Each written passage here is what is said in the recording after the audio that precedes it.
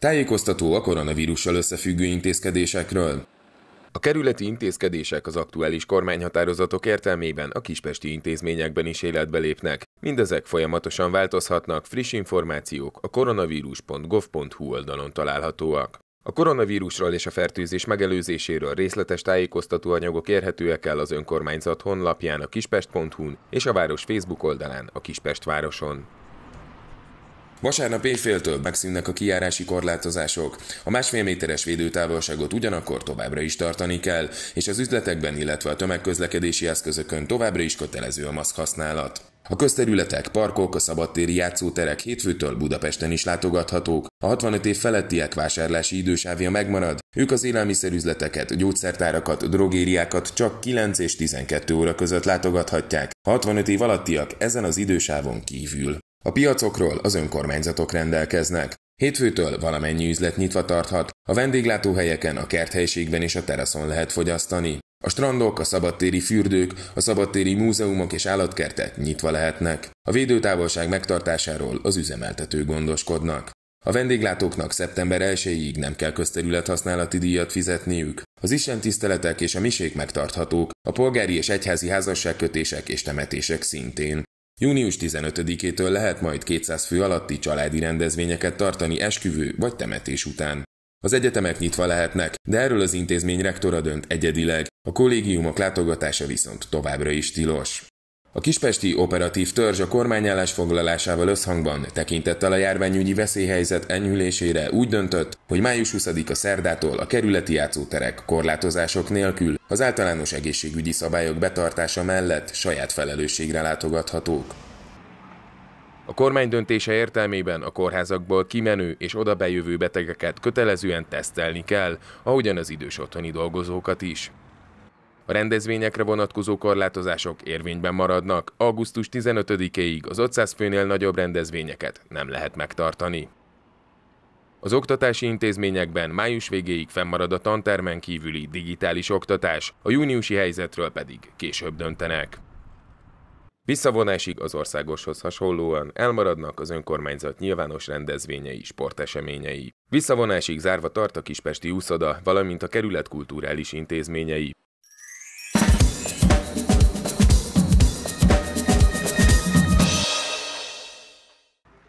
A piacon dolgozók bérleménnyel rendelkezők és vásárlói tapasztalatok összegzése, valamint a vagyonkezelő műszaki szervezettel való egyeztetés után a Kispesti Operatív Törzs úgy döntött, hogy április 25-től új látogatási rendet vezet be mind a Kispesti Kossuth téri piacon, mind pedig a Vekerlei kispiacon. A rendelet értelmében a 65 év felettiek nyitvatartási napokon a Kossuth téri piacot reggel 6 és 9 óra között látogathatják, a 65 év alattiak pedig 9 órától zárásig. A Vekerlei kispiacon pedig a csütörtöki őstermelői piacnapon a 65 év felettiek 15 és 16 óra között, míg a 65 év alattiak 16 óra után zárásig vásárolhatnak. A változások összhangban vannak a kormányrendelettel, amely lehetőséget ad az önkormányzatoknak, a polgármestereknek, a településen működő piacok nyitva tartásának helyi rendeletben történő szabályozására.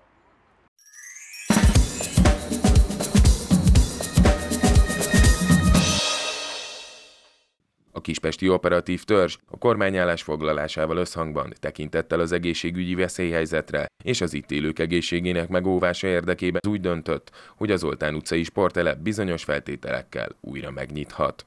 A telepen csak a teniszpályák nyithatnak meg hétfőtől szombatig 8 és 20 óra között, és vasárnap 8-tól 14 óráig.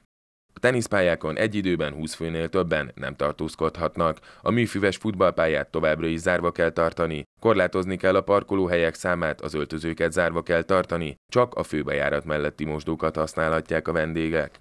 Kiemelt figyelmet kell fordítani a rendszeres fertőtlenítő kézmosásra, a fokozott fertőtlenítő takarításra, a higiénés szabályok fokozott betartására és betartatására. Csoportos teniszedzések és versenyek továbbra sem tarthatók. Május 20-a szerdától az Oltán utcai sporttelep többi része korlátozásokkal ismét használható. Ennek részleteit a helyszínen és a sporttelep honlapján teszik. Május 20-a szerdától a Tihilajos Sportcentrum is korlátozásokkal ismét használható. A részleteket a helyszínen és a sportcentrum honlapján teszik.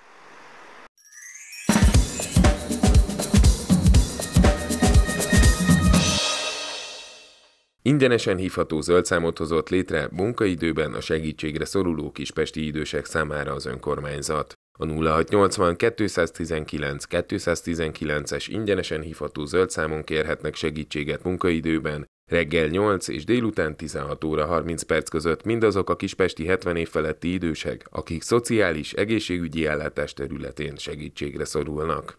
Kerüljük annak érdekében, hogy a zöldszám valóban hatékonyan tudjon működni, csak indokolt esetben hívják azt. Egyre több kérés érkezik az önkormányzathoz a zöld vonalon keresztül is. Gajda Péter polgármester arra kérte képviselőtársait, a bizottságban dolgozó kollégákat és a szakértőket is, hogy amíg tart a veszélyhelyzet, bevásárlással, gyógyszerek beszerzésével és kiszállítással segítsék a kerületben élő, nehéz helyzetben lévőket. A napi munka mellett sokan, köztük a polgármester is segít a vásárlásban és a házhoz szállításban is. A Kispesti Egészségügyi Intézet a honlapon közölt rendelési időben fogadja a rászorulókat a betegellátás biztosítása érdekében. Az intézmény honlapján és a kispest.hu oldalon folyamatos az egészségmegőrzéssel kapcsolatos információkat közöl az intézet.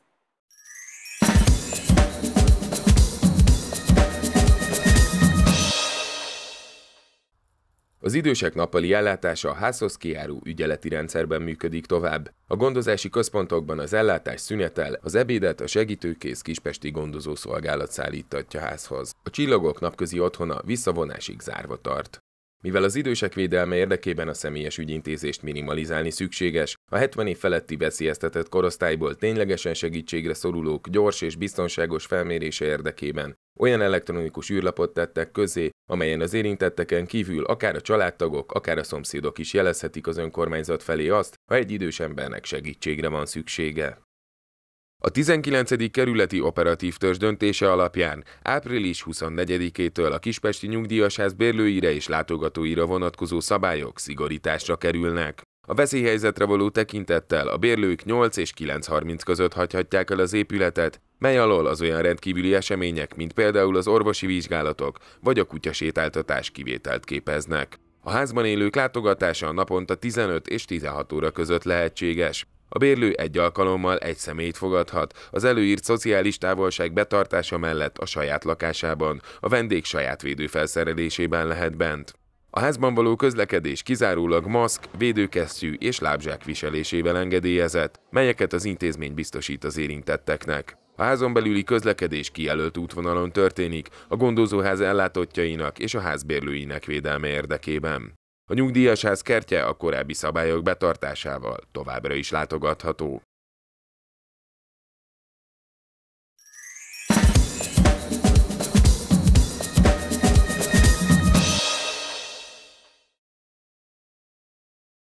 A Kispesti Szociális Szolgáltató Centrum szakmai egységeinek működési rendje a következő. A Család és Gyermekjóléti Szolgálat és Központ nyitvatartási időben telefonos ügyeletet lát el. Kivételes, súlyos, életet veszélyeztető helyzet esetén személyesen is fogadják az arra rászorulót, védőmaszk és kesztyű használata ebben az esetben kötelező. Az intézményben az élelmiszer adományok fogadása és kiosztása a kötelező egészségügyi szabályok szigorú betartásával zavartalanul folytatódik. A gyermekek átmeneti otthona a működési rendje nem változott. Szükség esetén a szolgáltatást a szülők igényelhetik a nap 24 órájában. A családok átmeneti otthona lakóira a fokozott fertőzés veszély miatt szigorú egészségügyi szabályok vonatkoznak. A lakókon és a dolgozókon kívül senki nem léphet az intézmény területére, ezért szünetel a jelentkezések elfogadása, és új lakók felvételére sem kerül sor az intézkedések feloldásáig. Az egészségügyi vészhelyzet ideje alatt a pszichiátriai gondozó szakpszichológusai, valamint a forrásház szakemberei telefonos lelkisegélynyújtást biztosítanak minden kispestinek, aki hozzájuk fordul. A pszichiátriai gondozó szakpszichológusainak elérhetőségei a képernyőn láthatóak. Hétfő délelőtt 9 és 11 óra között a 061 280 24 01-es telefonszámon, Kettő csütörtökig délelőtt 10 és 11 óra között, és délután 16 és 17 óra között a 061 282 9786-os telefonszámon, pénteken pedig délelőtt 10 és 11 óra között a 061 280 24 01-es telefonszámon. A forrásház gondozási központ munkatársai a veszélyhelyzetben személyesen nem fogadnak ügyfeleket, de telefonos ügyeletet tartanak, mentális segítőbeszélgetésekkel nyújtanak támogatást, visszahívással két telefonszámon. A népkonyha igénybevételéhez személyigazolvány, lakcím és tajkártya szükséges.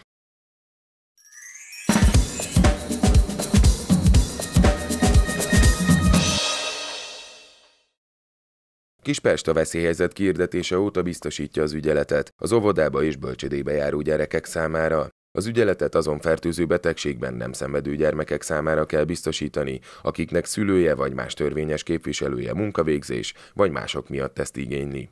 Az ügyeletet elektronikus levélben vagy telefonon is lehet kérni, és írásos szülői nyilatkozat szükséges arról, hogy a gyermek nem fertőző beteg. Az ügyeletet a szülő által igényelt időszakban, de legfeljebb munkanapokon 6 és 18 óra között kell biztosítani. A bölcsödéknél a Csillagfény bölcsöde az ügyeletes, az óvodák esetében három intézmény a Kispesti Gyöngykagyló, a Kispesti Árnyas óvoda a Vonás utcai tagintézménye és a Szászor Szép óvoda tart ügyeletet május 29-éig. Június másodikától valamennyi önkormányzati fenntartású óvoda és bölcsöde nyitva lesz, de továbbra is ügyeleti formában, így saját óvodájába bölcsödéjébe járó gyermekeknek biztosítják a felügyeletet. Az ellátást továbbra is kis csoportos formában kell megszervezni, egy csoportban legfeljebb öt gyermek lehet, és az ügyelet vegyes életkori csoportokban is megszervezhető. Kérik, hogy aki óvodába szeretné vinni gyermekét, az az ügyeletes óvoda intézmény vezetőjének jelezze ezt telefonon.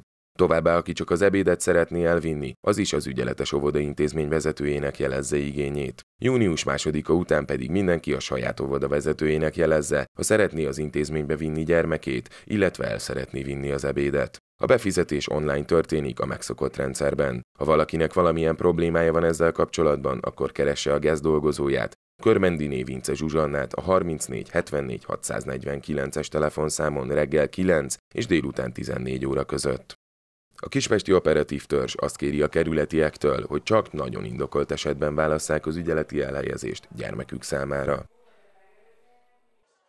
Iskoláknál a közétkeztetés a szokásos rendszerben zajlik, melynek keretében elvihető, melegíthető ételek kerülnek kiosztásra. Annak, aki igényli az étkezést, jeleznie kell. A kevés számú igénylőre tekintettel az iskolások közétkeztetését két helyszínen, a bolyai és a pannónia iskolákban koncentráltan végzik. A körzetek beosztásáról a gazdasági ellátó szervezet a későbbiekben az iskolákon keresztül és a saját honlapján ad tájékoztatást. A bölcsödékben, az óvodákban és az iskolákban a befizetett étkezéseket március 16-ától a GESZ egységesen lemondta. A március 16-ától 31-ig terjedő időszakra befizetett összegek a későbbi befizetés alkalmával a veszélyhelyzet elmúltát követő hónapban automatikusan jóváírásra kerülnek.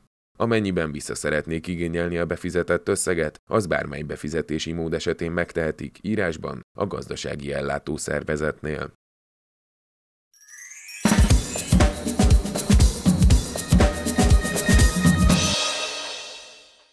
A járványhelyzetre való tekintettel a Közpark Kft. bevezette a zöld hulladékgyűjtőzsákok házhoz szállítását. A kispestiek amennyiben munkaidőben felhívják a 061 282 96 22-es telefonszámot és vásárolnak minimum 10 darab zöld hulladékzsákot, akkor a Közpark Kft. díjmentesen a megrendeléstől számított következő napon kiszállítja azokat.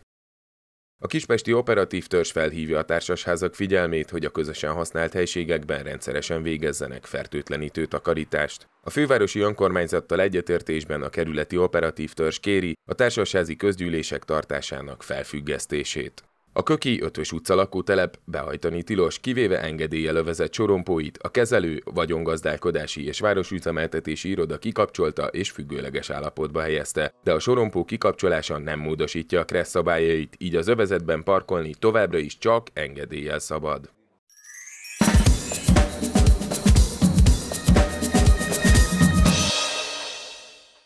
Visszavonásig születel a személyes ügyfélfogadás a polgármesteri hivatalban, a gazdasági ellátószervezetben és a vagyongazdálkodási műszaki szervezetben. Kérjük, hogy hivatali ügyeiket postai úton, illetve e-mailben vagy telefonon intézzék. A szociális ügyintézőknél személyes ügyintézésre nincs lehetőség, azonban telefonon felvilágosítást adnak. A járványhelyzetre való tekintettel mindazok az önkormányzati lakásbérlők, akik lakbértámogatásban részesülnek, és részükre az egy évre megállapított lakbértámogatás április 1-től vagy azt követően lejár, a támogatás megállapításához szükséges dokumentumokat az önkormányzat honlapján érhetik el. Amennyiben lakbértámogatás iránti kérelmüket még nem nyújtották be, és a járvány továbbá a kijárási korlátozás miatt ezt követően sincs lehetőségük annak benyújtására, az önkormányzat a korábban megállapított támogatást a lejárati időtartamát követően is fenntartja. Az ilyen módon lejárati időt követően is biztosított támogatást az önkormányzat a veszélyhelyzet feloldását követően hivatalból felülvizsgálja. Az anyakönyvi ügyintézés terén is változások léptek életbe. Előzetes időpont egyeztetést követően a kispesti lakcímmel rendelkezőknek módjukban áll a házasságkötési szándék bejelentése, továbbá a teljes hatályú apai nyilatkozattétel. A hivatal munkatársai arra kérik a kispestieket, hogy kizárólag halaszthatatlan ügyekben keressék fel személyesen az irodát, minden más esetben válasszák az online ügyintézést, vagy kérjenek telefonos segítséget. Folyamatosan frissülő információs filmünket adásainkban a nap folyamán többször rendszeresen láthatják, akár egymás után ismételve is. A film megtekinthető az önkormányzat hivatalos honlapján, a kispest.hu oldalon, a kispesttv.hu oldalon, a TV YouTube csatornáján és televíziunk Facebook oldalán is. Az internetes felületeken a lejátszást megállíthatják, az információkat újra meghallgathatják. Arra kérem önöket, hogy kísérjék figyelemmel a kormány és a kispesti operatív törzs határozatait és döntéseit, és azokat tartsák be saját és családjuk egészségének megóvása érdekében. Köszönöm.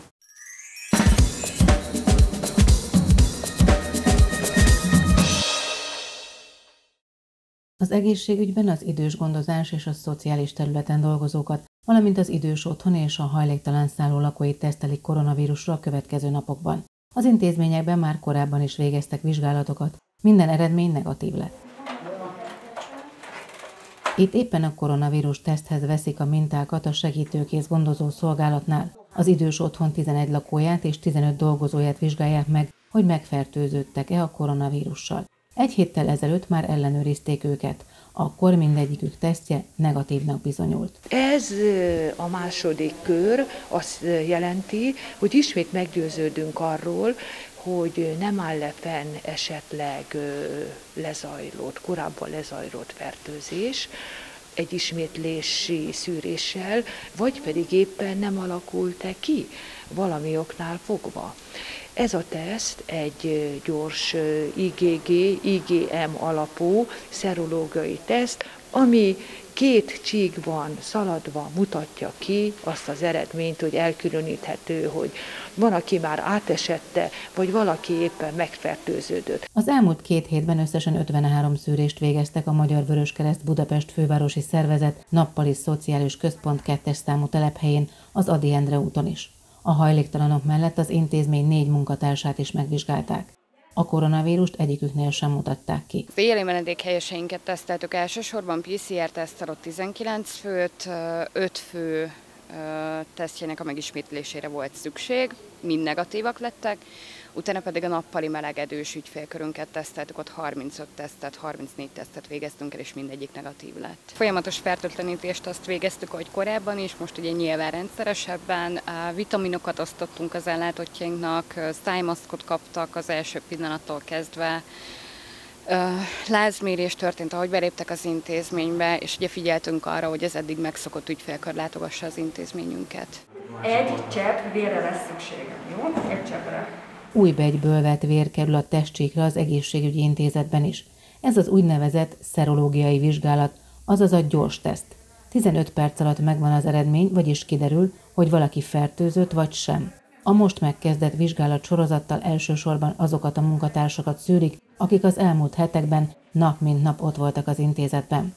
Például ők végezték a betegek beengedésénél a fertőtlenítést, a lázmérést. Tesztelik azokat a gyerek és felnőtt alapellátásban dolgozó orvosokat is, akik tényleges betegvizsgálattal foglalkoztak, nem csak online rendeltek.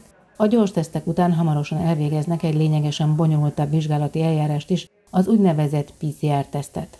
A garatból és az ornyálka hártyából vett mintákat speciális laborkörülmények között vizsgálják majd. Ez a kettő együtt azért ez már eléggé megbízható eredményt ad a két, kétféle diagnosztikus módszer, és azt gondolom, hogy ebben a jelen helyzetben és a jövőben amikor majd még jobban beindul az élet az intézetben is, akkor fontos, hogy ezt időről időre megismételjük a biztonság miatt, hisz ha kiszűrünk valakit, azt azonnal és a kontaktjait is szeparálni, izolálni tudjuk, és ezzel lehet megakadályozni, hogy egy rapid terjedés elinduljon. Azokat tesztelik, akik a járvány elleni védekezés első vonalában dolgoznak, mondta az egészségügyi intézet belátogató Gajda Péter polgármester. Éppen ezért az egészségügyben az idős gondozás és a szociális területen dolgozóktól vesznek mintát. Az elmúlt napok tesztei azt mutatták, hogy sem a szociális ellátásban, sem az idős gondozásban, sem a gondozók, sem a gondozottak között nincsen koronavírus fertőzött. A polgármester Ikladiné dr. Petras Veronikával, a Humán Szolgáltatási és Szociális Iroda vezetőjével és Vincek György alpolgármesterrel közösen megköszönte a szakrendelő dolgozóinak, hogy csatlakoztak azokhoz az önkéntesekhez, akik szájmaszkot vartak a 65 év feletti idős kerületieknek is. Az egészségügyi intézetben 4500 darab készült számukra. Ezekből a textilmaszkokból, amelyek fertőtleníthetők, moshatók, tisztíthatók, tehát többször felhasználhatóak. Ezekből jutott az egészségügyben dolgozóknak, a szociális területen, az idős gondozásban tevékenykedő kollégáknak, és persze annak a 13 ezer 65 év feletti kispestinek, idős kispestinek, akiknek a napokban a képviselőkkel, az önkéntesekkel együtt eljutattuk ezeket a maszkokat. Szerettem volna személyesen is megköszönni itt az egészségügyben dolgozó kollégáknak ezt az odaadó munkát, hiszen ők a napi rutinjuk mellett varták ezeket a védőeszközöket. A kispesti óvodákban, bölcsödékben és az egészségügyi intézetben dolgozók Összesen csak nem 14 ezer védőmaszkot vartak az elmúlt két és fél hónapban az önkormányzat támogatásával.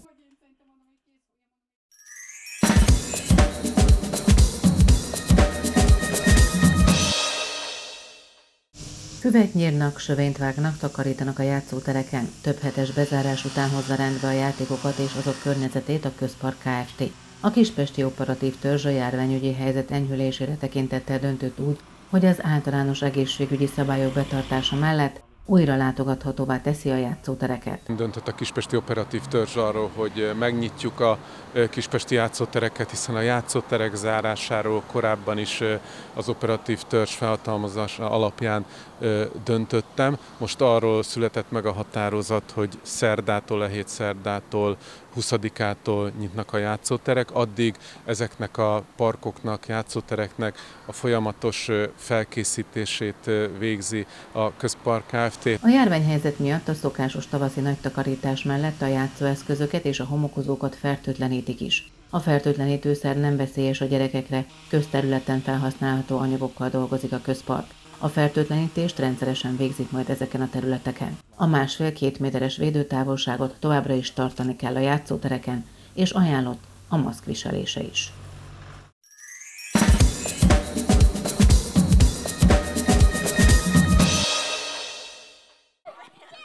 A hatályos jogszabályok szerint az önkormányzatok kötelesek nyári napközistábort működtetni a kerületben élő családok gyermekei számára. Kispesten az önkormányzat megbízásából a Vekerlei Kultúrház minden évben megszervezi a Kispesti Kóficok elnevezésű ingyenes önkormányzati nyári tábort, színes programokkal, fejlesztő foglalkozásokkal, uszodalátogatással, utazásokkal.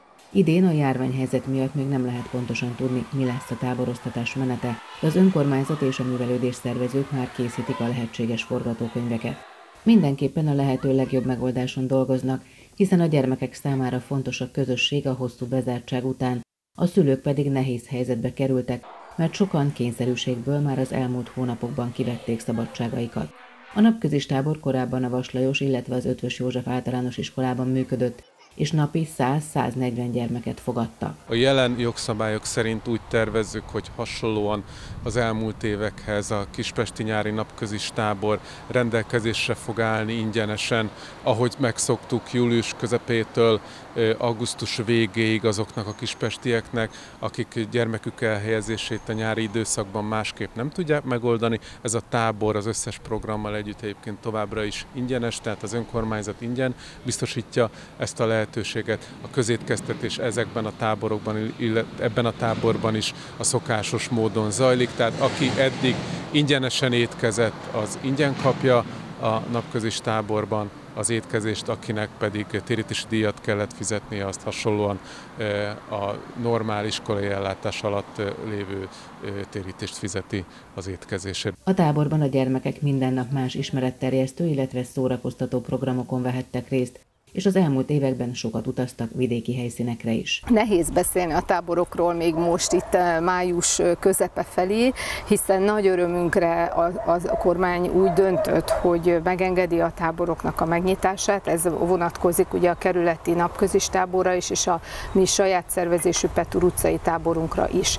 De várunk még arra, hogy esetleg részletes szabályozás majd kijön arra vonatkozóan, hogy milyen szabályokat milyen eh, rendet kell betartani egy-egy táborba, akár a létszám maximalizálással vagy maszkhordással kapcsolatban. A tábor valószínűleg július elején indul majd, de természetesen csak abban az esetben, ha addig semmilyen váratlan fordulat nem következik be a Covid járvány görbéjét illetően. Mindenképpen készülünk rá, a pedagógusok is készülnek rá, szabadidőszervezők, és mi is a Vekerlei Kultúrháznak a munkatársai, és igyekszünk nagyon rugalmasak lenni majd a szervezés terén. Hogyha az elmenős programok nem tudnak megvalósulni, lehet-e tudni, hogy akkor milyen bent lévő programok lesznek? Természetesen gondolkoztunk már ezzel, mi is gondoltunk arra, hiszen most is a múzeumok csak a szabadtériek nyitják meg a kapuikat, és egyébként se biztos, hogy jó ötlet, hogy nap mint nap a gyerekeket utaztassuk, és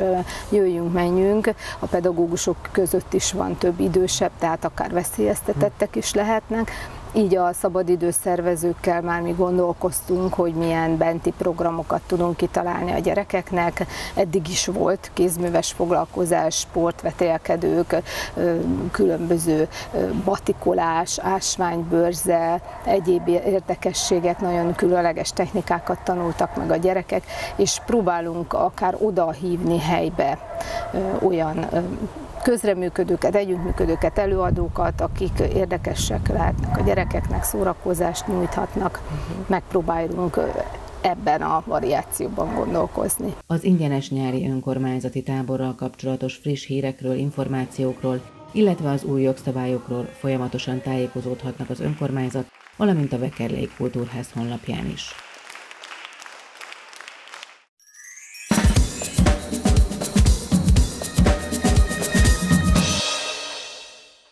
Jó napot kívánok, Hegedűs Judit vagyok, Önök a Kispest TV műsorát látják. A rendkívüli helyzetben a mi műsorrendünk is rendkívüli. Minden adásunk elején folyamatosan frissülő információs filmet láthatnak a koronavírus elleni védekezés kerületi rendelkezéseiről, feladatairól. Ezt naponta többször ismételjük adásunkban. Ezután rövid hírösszefoglaló következik az aktualitásokból, majd minden héten új válogatást készítünk az elmúlt időszak legérdekesebb, legizgalmasabb riportjaiból.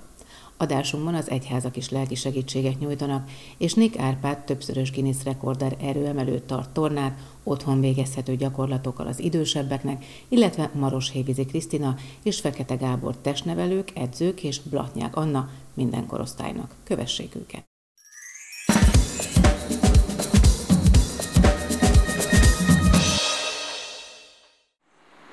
Folyamatosan újraindulnak a szakrendelések a Kispesti Egészségügyi Intézetben. Az Emberi Erőforrások Minisztériuma már korábban döntött arról, hogy a kedvező járványügyi helyzetre tekintettel fokozatosan újraindulhatnak a szakrendelések az egészségügyben. A Kispesti Egészségügyi Intézet az elmúlt hetekben is folyamatosan biztosította a sürgősségi betegellátást, az ellátások köre pedig a visszajelzések, az igények illetve a járványügyi és személyi feltételek függvényében bővül majd a következő időszakban. Ez az újraindítás, ez nem azt jelenti, hogy a régi megszokott rend szerint működnek a rendelők, szakrendelők vagy az alapellátó szolgálat. Ez egy lehetőség most arra, hogy már több rendelés beinduljon, ahol a személyi feltételek biztosítottak. Tudjuk azt, hogy a 65 éven felüli kollégák még nem álltak javarészt munkába, terv szerint június 1-ével szeretnének, ezt mi nem várhatjuk el. Vannak, akik aláírásukkal és a nyilatkozatukkal vállalják, hogy jönnek, nem sokan. Ezért sem tudja még az intézet a párhuzamos és a délutáni rendeléseket megindítani. Ugye ezeknek személyi feltételei vannak. Az EMI rendelet is, és jó magam is a honlapunkon közölt információkban azt hangsúlyozta, hangsúlyoztuk, hogy a döntő fontosságú továbbra is a telemedicinális ellátás még a közeljövőben. Tehát minden olyan ö, szolgáltatást, ami megoldható telemedicinálisan, tehát telefonon, Skype-on, e-mailben, a, a akkor azt kell igénybe venni. Jelenti ez a receptigényeket, ugye a recept felhőbe kerülése biztosítja a gyógyszerhez való hozzájutást, ugye jelenti ez a különböző igazolások, meghosszabbítások, táppénz, tehát minden ilyen hivatalos eljárást, emiatt nem kell rabolni a fizikai jelenlétet igénylő orvosi ellátás keretét, szűk keretét. Úgyhogy ez egy nagyon fontos dolog, hogy attól, hogy újraindult, vagy megindult az egészségügy, ez, ez nem jelenti azt, hogy a régi rend szerint indult meg. Tehát hangsúlyozom a telemedicinális ellátásnak a fontosságát még a következő időszakban. A ami új, hogy nem csak sürgősségi, tehát életet veszélyeztető helyzetben történik ellátás a szakrendeléseken, hanem előzetes telefon, konzultáció alapján az orvos kolléga úgy ítéli meg, hogy meg kell vizsgálja a pácienst, akkor egyeztetett időpontban be fog jönni. Ugye ez a rendeletben is nagyon hangsúlyos, hogy egy órán belül maximum négy beteg jelenhet meg, de hát több rendelésen ennyi sem. Például a személyzeten, amit elindítunk 19-től, kettő beteg jelenhet meg egy óra alatt. Mondjuk az ultrahang laborban ott talán jó esetben három beteg. Tehát ez csak egy ilyen mutató szám, egy maximálva, hogy egy órában négy, és ennek az a lényege, hogy a betegek közötti fokozott fertőtlenítés, szellőztetés, tehát az óvóvédő rendszabályok további nagyon szigorú megtartására meg legyen a szükséges időkeret, és hogy a váróban ne üljenek együtt, egy időben többen. Ezt nagyon szigorúan fogjuk a jövőben is nézni, hisz az összes eddigi erőfeszítésünk, amit március óta itt mindannyian megteszünk, természetesen a lakosság fegyelmezettségével együtt értük el azt az eredményt, hogy nem volt az intézetben covidos beteg, tudomásom szerint Kispesten is nagyon elenyésző szám az igazolt covidos eset, tehát mutatja ez a lakosságnak a fegyelmezett magatartását, megértették a sok-sok közölt ajánlást, és továbbra is ezt szeretném hangsúlyozni, hogy ne engedjük még el ezt a fegyelmet, mert nem hagytuk magunk mögött a vírust. Jók a mutatóink, de ez persze azt is sugalja, hogy nem alakult ki nyájimmunitás, tehát nem tudjuk még magunk mögött az egész COVID kérdést. Feltehetően őszelején indul majd egy második hullám, tehát jó, ha a tudatunkban megőrizzük ezeket a nagyon fokozott védelmi rendszabályokat, a távolságtartást, a készhigiénét, a szájmasznak a viselését. Ugye itt fogom a kezembe, kifejezett kérésre vettem le, hogy tapasztalták, hogy interjú nem volt szerencsés, amit maszkban adtam, tehát én ezért most senki körülöttünk nem áll, önökön maszk van, úgyhogy én most erre az időre valóban levettem, de nekem az a kérésem, hogy a meghatározott helyeken, az intézetben ugye kötelezően, úgy, mint eddig is, patikában, üzletekben, tömegközlekedési eszközben még jó darabig viseljük a maszkot, mert ez mindenki számára egy védelmet jelent. Tehát ennek a viselésével én a másikat védem. Ezt most már mindenhol elismerik, erről már rengeteg cikk jelent meg. Egyes rendelések iránt nagyon nagy az igény, és folyamatos az érdeklődés. Ezt figyelembe veszik a fokozatos újraindítás tervezésekor. A magas kockázatú vizsgálatok esetében azonban még várniuk kell a betegeknek. A radiológia teljes profiljával, tehát a, a ultrahangvizsgálat, mammográfia, panoráma röntgen, dex, a csontcsűrűségvizsgálat, amire nagyon nagy igény van kollégák részéről is, betegek részéről is régóta halasztódik. Tehát ezek a vizsgálatok teljes profillal el fognak indulni, egyeztetett időpontban az előbb elmondottak szerint nem fogok megismételni, tehát ez nem azt jelenti, hogy most 19-én erre itt el lehet indulni, szigorúan időpontban. Ennek nagyon örülök, hogy ennek a személyi feltételei is biztosítottak. Ugyanígy el fog indulni, amire szintén nagy igény van, a személyzeti rendelés, mert rendeltünk egy réslámpa védő pajzsot plexiből készül, és ezt a héten reményeim szerint leszállítják, és akkor a kollega nők be tudnak állni ugyanígy az elmondott nagyon beszűkített lehetőségek mellett azon betegek vizsgálatára, ahol halaszthatatlan, akiket eddig telemedicinális ellátás mellett esetleg el kellett küldeni kórházi ellátásba, a Bajcsi kórházba erre több példa volt. Na most ezt fogja kivédeni, hogy már itt biztosított lesz szűk lehetőségek mellett, de biztosított lesz az ellátás. Ugye nagyon fontos, hogy ne várakozzanak. Tudjuk, hogy a személyzet egy olyan vizsgálat, amikor az egyik tágul, a másik itt ül, a harmadik ott ül, és közben zajlik a vizsgálat. Na ez az, ami most nem mehet, hogy értse mindenki világosan, hogy miért van arra szükség, hogy most még nem tudunk annyi beteget fogadni. Tehát erre egy kicsit még várni kell. Semmiképpen nem indulnak meg az endoszkopos vizsgálatok. Ezek magas kockázatú vizsgálatok, részben a személyi állomány sem biztosított az életkor miatt, meg a kockázati tényező miatt is, tehát ez még várat magára. Ugyanúgy kicsit várat még magára, talán reményeim szerint június 1 megindítjuk az infúziós kezeléseket. Ami viszont elindul, és talán ennek úgy örülni fog a lakosság, hogy tervezetten, időpontban egyeztetve bizonyos gyógytorna és fizikoterápiás kezelések. Erre szükség van, ennek megvan a módja, kidolgoztuk, átbeszéltük az osztályvezetővel, a gyógytorna és fizikoterápia részlegvezetőivel, tehát megvan ennek a mikéntje, mindenki forduljon a telefonon, kérje és beszélje meg a időpontját, fixálja le. Nagyon szeretném, hogyha a jövőben is a mentálhigién és pszichológiai és pszichiátriai ellátás még egy jó ideig telemedicinális keretek között történne meg.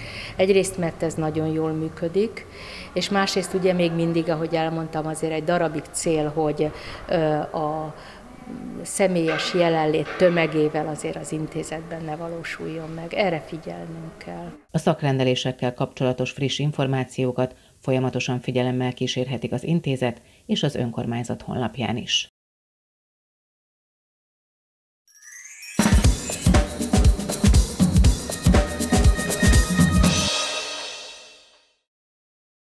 Rendkívül támogatást kérhetnek a rászoruló kispestiek az önkormányzati Kispesti Rászorultak Megsegítésére közalapítványtól. A támogatás összege 40 ezer forint. Az önkormányzat szociális ellátásról szóló, a települési támogatásokról szóló rendelete olyan, hogy tulajdonképpen mindenkinek, aki a koronavírus válság miatt rendkívül nehéz helyzetbe került, tudunk anyagi támogatást adni. Én arra kértem a kollégáimat, képviselőket, a polgármestertársaimat, aki megteheti, az a rászorultakért, kispesti rászorultakért alapítványon keresztül próbálja meg segíteni azoknak a kispestieknek, akik esetleg egyébként a koronavírus válság miatt kerültek nehéz helyzetbe, munkájukat vesztették el, vagy más probléma adódott a családban. Hál' Istennek erre a felhívásra elég sokan jelentkeztek. Ugye én magam azzal indítottam, hogy az egy havi béremet ajánlottam föl, és utaltam át az alapítvány számlájára, és nagyon sokan csatlakoztak ehhez a kezdeményezéshez, már közel 3 millió forint gyűlt össze, és a megadott rendelkezések mellett ebből a 3 millió forintból már azok, akik kitöltötték a formanyomtatványokat, az igénylőlapokat, már kapnak 40 ezer forintnyi plusz támogatást ahhoz, hogy ezt a nehéz helyzetet átvészeljék. Hát továbbra is arra buzdítok mindenkit, aki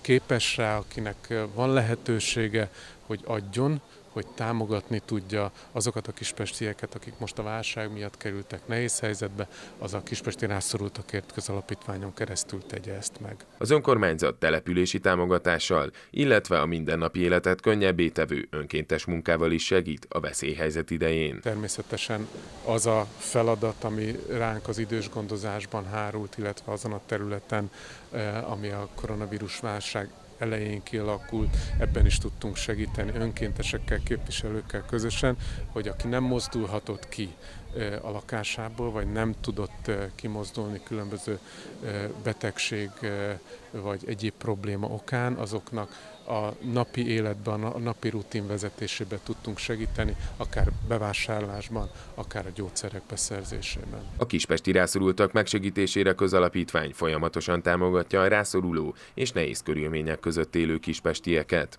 A veszélyhelyzet kialakulása óta természetesen még intenzívebben kell segíteniük a Kispesten élő tartósan beteg vagy fogyatékossággal élő embereken. Az alapítványt az elmúlt hetekben civilek, magánszemélyek a korábbinál is nagyobb számban támogatták, mellettük pedig Burány Sándor, Kispest országgyűlési képviselője, Kertész Csaba és Vincek György alpolgármesterek, és a kerületi pártok közül a DK és az MSZP is juttatott támogatást a szervezetnek. A mostani keretből azok a kispestiek támogathatóak, akik a veszélyhelyzet kiirdetése kapcsán kerültek nehéz helyzetbe. Március 15-e után lett valaki a családból munkanélküli, ezt természetesen dokumentummal kell igazolni az alapítvány felé. Kérjük továbbá a, a családban az egy háztartásban élők többi jövedelmét, hiszen az lehetséges, hogy édesapa elvesztette a munkáját, de anyukának van egy gyese mondjuk, vagy még dolgozik valahol. A családi pótlékot is kell igazolni. Tehát minden olyan juttatást vagy nyugdíjat, amit az egy háztartásban élők kapnak egy hónapban, és meghatároztunk szerintem egy nagyon méltányos egyfőre jutó összeget, 85 ezer forint a határ, tehát az egyfőre jutó jövedelem az 85 ezer forint lehet a családban, egyedülálló esetén pedig 90 ezer forint. Én azt gondolom, hogy így nagyon sok kispesti család bele fog férni ebbe a keretbe. Nem tudjuk, hogy milyen, tehát hogy mennyien fognak jelentkezni. Az elmúlt két hét tapasztalatáról tudok beszélni mert körülbelül azóta várjuk a, a kérelmeket, folyamatosan és fokozatosan érkeznek be hozzánk. Fontos, hogy mindenki figyelmesen töltse ki a hivatalos iratokat, és ha gondja van, keresse az alapítvány munkatársait. Nagyon sokan úgy adják be, vagy úgy küldik el a kérelmet, hogy, hogy hiányos, sokan félreértették, van, aki már egy éve munkanélkül, és most beadta ugye a, a kérelmet. Az is probléma szokott lenni, hogy a munkaadótól még nem kapták meg a papírokat, de én azt gondolom, hogy, hogy mi várunk, mindenkivel felveszem a kapcsolatot, tényleg minden kérelmezővel, hogyha így probléma van, vagy látok valamilyen hiányt, akkor telefonon szoktam ö, beszélni, úgyhogy ö, azt gondolom, hogy, hogy nyugodtan be lehet adni a kérelmet, hogyha ezeknek a feltételeknek valaki megfelel. Azt gondoltuk, hogy több csatornán is benyújtható legyen a, a dolog. Ugye a polgármesteri hivatal bejárata előtt helyeztünk el egy dobozt, és ott nyomtatványokat is mindig elhelyezünk, tehát biztosítjuk azt, hogy a, a kérelmeket sokszorosítsuk. A másik ö, helyszín az a, a Kispesti Családsegítő Szolgálat és Gyermekjóléti Központ, itt is be lehet adni kérelmet, és itt a kollégák segítenek a fénymásolásban is, hiszen polgármesteri hivatalban nem lehet bemenni a koronavírus miatt. Nálunk minden egyéb feltétel betartása mellett be lehet jönni, illetve a kollégáim segítenek, tehát ez pedig a Táncsics utca 7 szám alatt van, és arra is gondoltunk, hogy ha valakinek vannak otthon olyan eszközei, akkor, akkor e-mailben is be lehet adni ezt a kérelmet, és csatolni kell, vagy be kell szkennelni a, a mellékleteket. Folyamatosan érkeznek a kérelmek, a kuratórium pedig sűríti online üléseit annak érdekében, hogy mindenki mielőbb támogatáshoz juthasson. Mi egy közalapítvány vagyunk, heten vagyunk összesen békeidőben. Én vagyok az elnök, Bolderika a titkár és hat kuratóriumi tag van, de minden kuratóriumi tagom 65 vagy 70 év feletti. Ezért ők most otthon vannak, tehát mi azt gondoltuk, hogy ahogy jönnek be a kérelmek, és azt gondolom, hogy most fog megsokszorozódni, a kérelmeknek, a beérkező kérelmeknek a száma. Hetente online ülést tartunk, már egyébként az elsőt azt, azt meg is tartottuk, és én azt gondolom, hogy két hetente fogjuk a a megítélt támogatásokat kifizetni, még hozzá, mivel hogy a polgármesteri hivatalba nem ö, ö, tudunk bemenni, illetve nem fogadunk ügyfeleket, azt gondoltuk ki, hogy itt a családsegítő szolgálatnál, tehát a Táncsics utca 7-ben lesz a támogatásoknak a kiosztása, és ebben a ö, családsegítők segítenek nekem. Aki szeretné igényelni az alapítványi támogatást, a következőket kell benyújtania. A munkaadó igazolása, a munkaügyi központ regisztrációjának megindításáról szóló igazolás, erről e-mail másolat is elég. Fizetés nélküli szabadságra küldés esetén is a munkaadótól erről szóló dokumentum, illetve az egyháztartásban élők jövedelmeit is igazoló dokumentumok. Információt az alapítvány titkárától, Bold Erikától kaphatnak a bolderika kukac hivatal.kispest.hu e-mail címen, illetve a 061 347 49 65-ös telefonszámon. Kérik, hogy mindenki adjon meg telefonos vagy e-mailes elérhetőséget.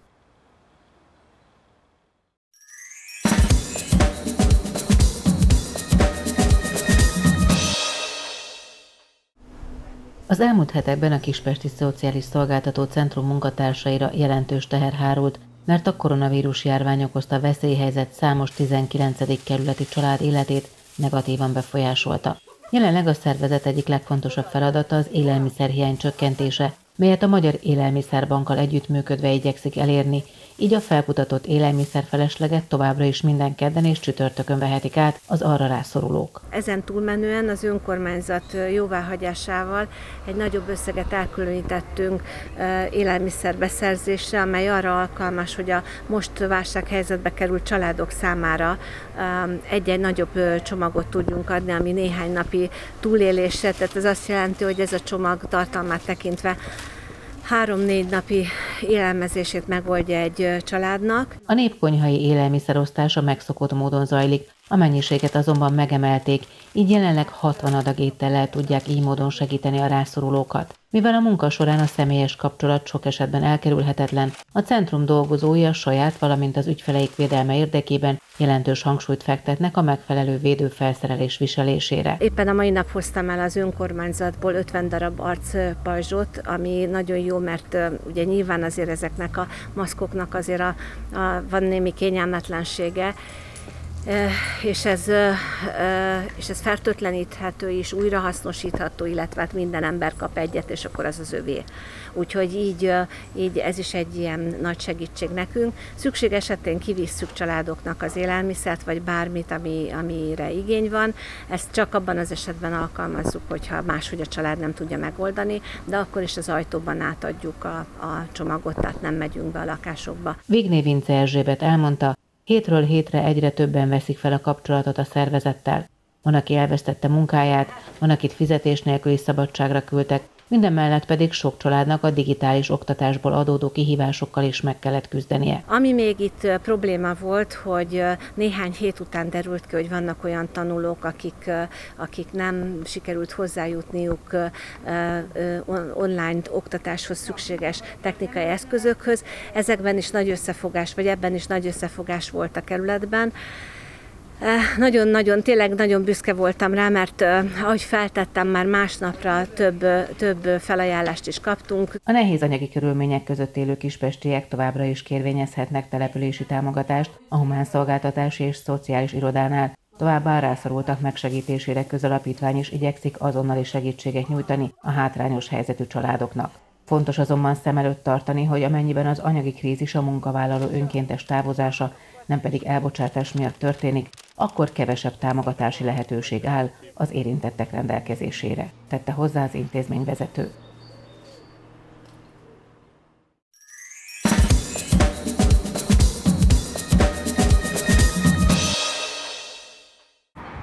A 19. kerületben élők szociális biztonságának megóvása érdekében Kispest önkormányzata továbbra is számos támogatási formát biztosít az érintetteknek. Több olyan lehetőség is elérhető, amelyekkel enyhíteni lehet a veszélyhelyzet okozta hátrányokat. Valamennyi eddigi támogatási formát tudjuk biztosítani a rászorulóknak, ugyanúgy vizsgálnunk kell a rászorultságot és mindenféle dokumentumot be kell csatolni.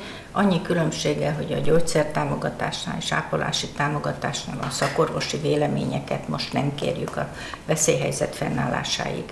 Az újonnan igényelt gyógyszer és ápolási támogatásokhoz fontos azonban feltüntetni a házi orvos nevét és elérhetőségét, hogy a szükséges gyógyszerek listája, valamint az ápolásra jogosultság elektronikus úton ellenőrizhető legyen a házi orvos megkeresésével.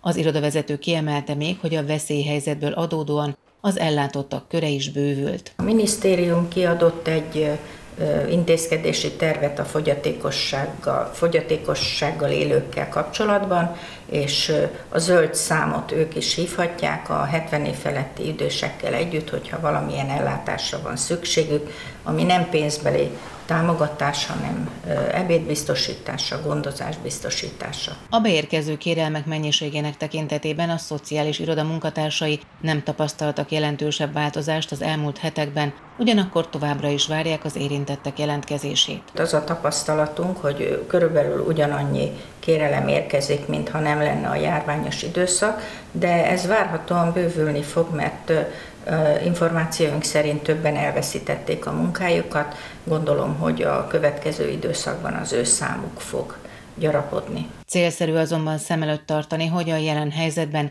személyes ügyintézésre nincs lehetőség, ugyanakkor telefonon felvilágosítást nyújtanak az érdeklődőknek. Az ügyfélszolgálaton csak nyomtatvány kérhető, környezettanulmányokat határozatlan ideig nem végeznek. Kérelmeik és nyomtatványaik a szociálisiroda.kispest.hu per nyomtatványok oldalról is letölthetőek. A kérelmek benyújtása pedig úgy történik, hogy a bejárat mellett van egy nyomtatvány, amin föl vannak sorolva a, kérelem típusai, ezt ha kitölti az illető a nevével, címével, telefonszámával, együtt, bedobja egy dobozba, akkor eljutatjuk hozzá a környezettanulmány készítő kollégákon keresztül a kérelmeket nagyon rövid úton, és utána igyekszünk gyorsan dönteni. Fontos, hogy a zöld számot kizárólag akkor hívják, ha idős vagy fogyatékkal élő ember szorul segítségre. Minden más esetben a szociális irodához forduljanak.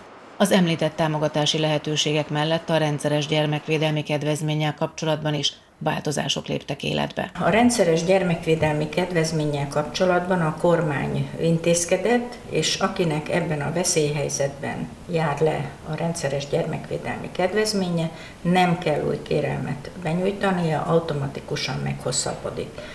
Mi magunk is kezdeményeztük a saját rendszeres ellátásainknál, hogy a veszélyhelyzetre tekintettel a most lejáró gyógyszertámogatás, lakhatás és ápolási támogatás hosszabbodjon meg hasonló módon, mint a rendszeres gyermekvédelmi kedvezmény.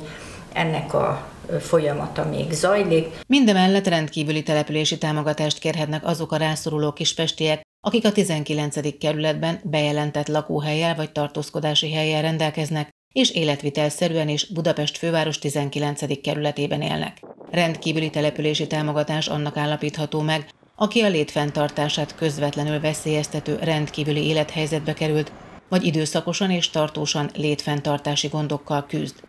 A koronavírus okozta veszélyhelyzet létfenntartást veszélyeztető rendkívüli élethelyzetnek, krízishelyzetnek tekinthető. Tekintettel a veszélyhelyzetre, személyes ügyintézésre ez esetben sincs mód. A lejáró rendszeres települési támogatások esetében ilyen a gyógyszertámogatás, a lakhatási támogatás vagy az ápolási támogatás hivatalból kiküldik a 2020. április 30-án lejáró rendszeres ellátások iránti kérelmeket az érintetteknek. Nem állapítható megtelepülési támogatás annak az aktív korú személynek, aki vagy a háztartásában élő más munkanélküli személy nem működik együtt az állami foglalkoztatási szervel. Ennek elkerülése érdekében kérik munkanélkülivé vált ügyfeleiket, hogy Budapest főváros kormányhivatala 18. kerületi hivatalának ügyfélszolgálatain telefonon kérjenek tájékoztatást. Időpontfoglalással és ügyintézéssel kapcsolatos információ itt olvashatóak.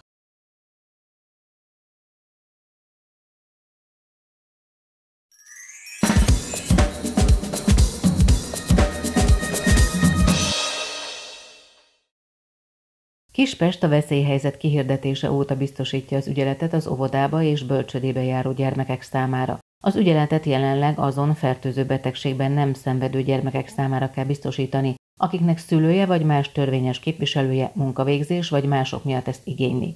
Az ügyeletet elektronikus levélben vagy telefonon is lehet kérni, és írásos szülői nyilatkozat szükséges arról, hogy a gyermek nem fertőző beteg. Az ügyeletet a szülő által igényelt időszakban, de legfeljebb munkanapokon reggel 6 és délután 18 óra között kell biztosítani. Az ellátást kis csoportos formában kell megszervezni, egy csoportban legfeljebb 5 gyermek lehet, és az ügyelet vegyes életkori csoportokban is megszervezhető. A gyermekek étkeztetése az ügyelet teljes időtartama alatt biztosított. Az igények függvényében a jelenlegi két ügyeletet ellátó óvoda, a Gyöngykagyló óvoda és az Árnyas óvoda mellett másik óvoda is megnyitásra kerülhet. A Kispesti Operatív Törzs azt kéri a kerületiektől, hogy csak nagyon indokolt esetben válasszák az ügyeleti elhelyezést gyermekük számára.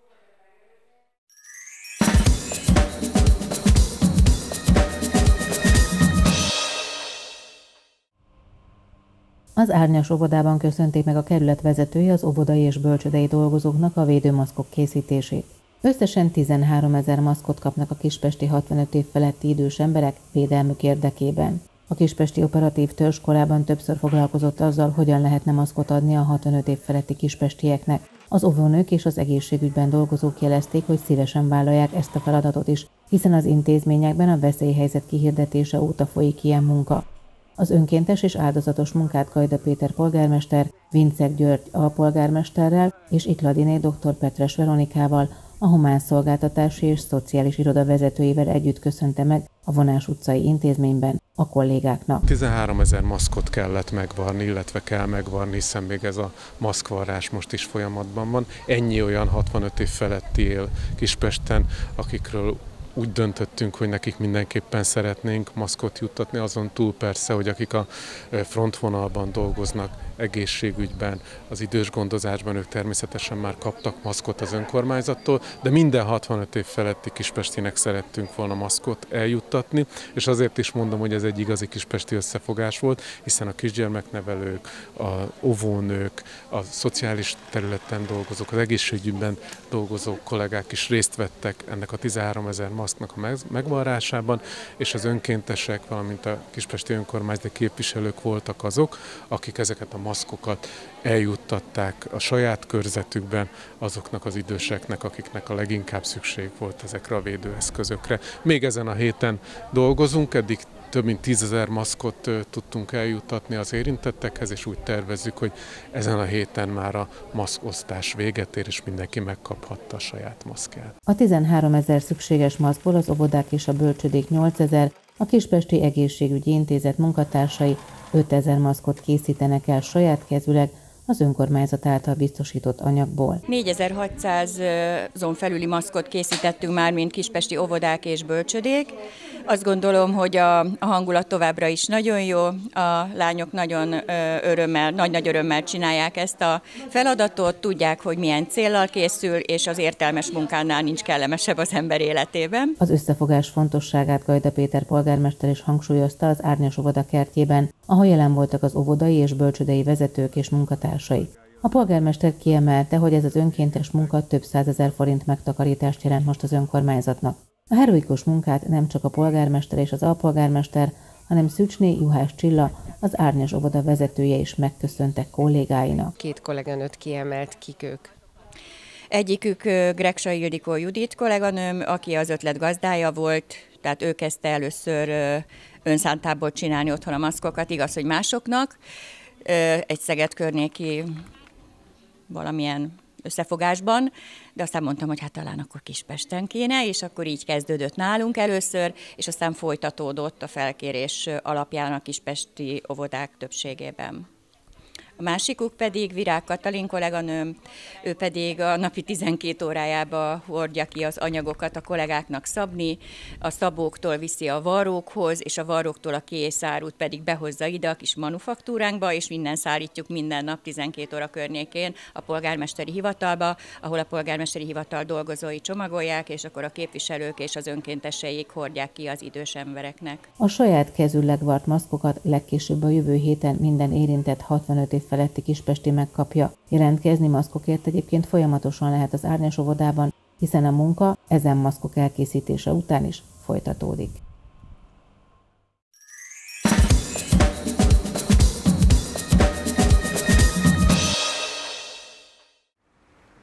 A közbeszerzési döntőbizottság a menzapályázat miatt 100 millió forintra büntette Kispest önkormányzatát. Kispest vitatja a közétkeztetési közbeszerzéssel kapcsolatos döntést, melyet a Kispestet érő sorozatos politikai lejáratások részének tart. Ez a bírság, amit az önkormányzat kapott a e, menzatender kiírása miatt azért is volt e, nagyon furcsa számunkra, több okból, hiszen az ilyen mértékben soha semmilyen önkormányzatot nem bírságoltak meg. Tehát az a 100 milliós bírság, amit mi kaptunk, az hasonló esetekben vagy nem volt egyáltalán, csak nem engedték a szerződéskötést, vagy milliós nagyságrendben bírságolták az adott önkormányzatot, vagy a közbeszerzés kiíró szervet, de a furcsasága azért is jelenik meg ebben a történetben, mert hogy én nem írtam alá ezt a szerződést, tehát az önkormányzat vezetőjeként én fordultam a hatósághoz, azt kérve, hogy jelezzék számunkra, hogy ezzel a szerződéssel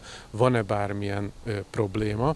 Ez a szerződés nem ment teljesülésbe, miután az önkormányzat vezetője ezt nem írta alá, nem várt egy jogi tanácsadást attól a hatóságtól, aki erre hivatott, és ehelyett hát az egyik önkormányzati képviselő feljelentése alapján rögtön ilyen súlyos bírsággal illették a kerületet, vagy sújtották a kerületet, úgyhogy természetesen ezt a bírságot jelen pillanatban nem fizettük ki, és hát nyilván a jogorvoslatban el fogunk menni addig, amíg meg nem találjuk az igazunkat ebben a történetben. Én azt gondolom, hogy nem nem szakmai oka volt ennek, nyilván az elmúlt időszakban az önkormányzatot annyi politikai támadás érte, hogy ez átpolitizálódott ez a kérdés, és szerintem itt nem egy szakmai, nem politikai döntés született. Mindezek miatt a kerület továbbra is egy jogorvoslati lehetőségeivel, folyamatban lévő bírósági ügyel kapcsolatban egyéb tájékoztatást nem adhatnak.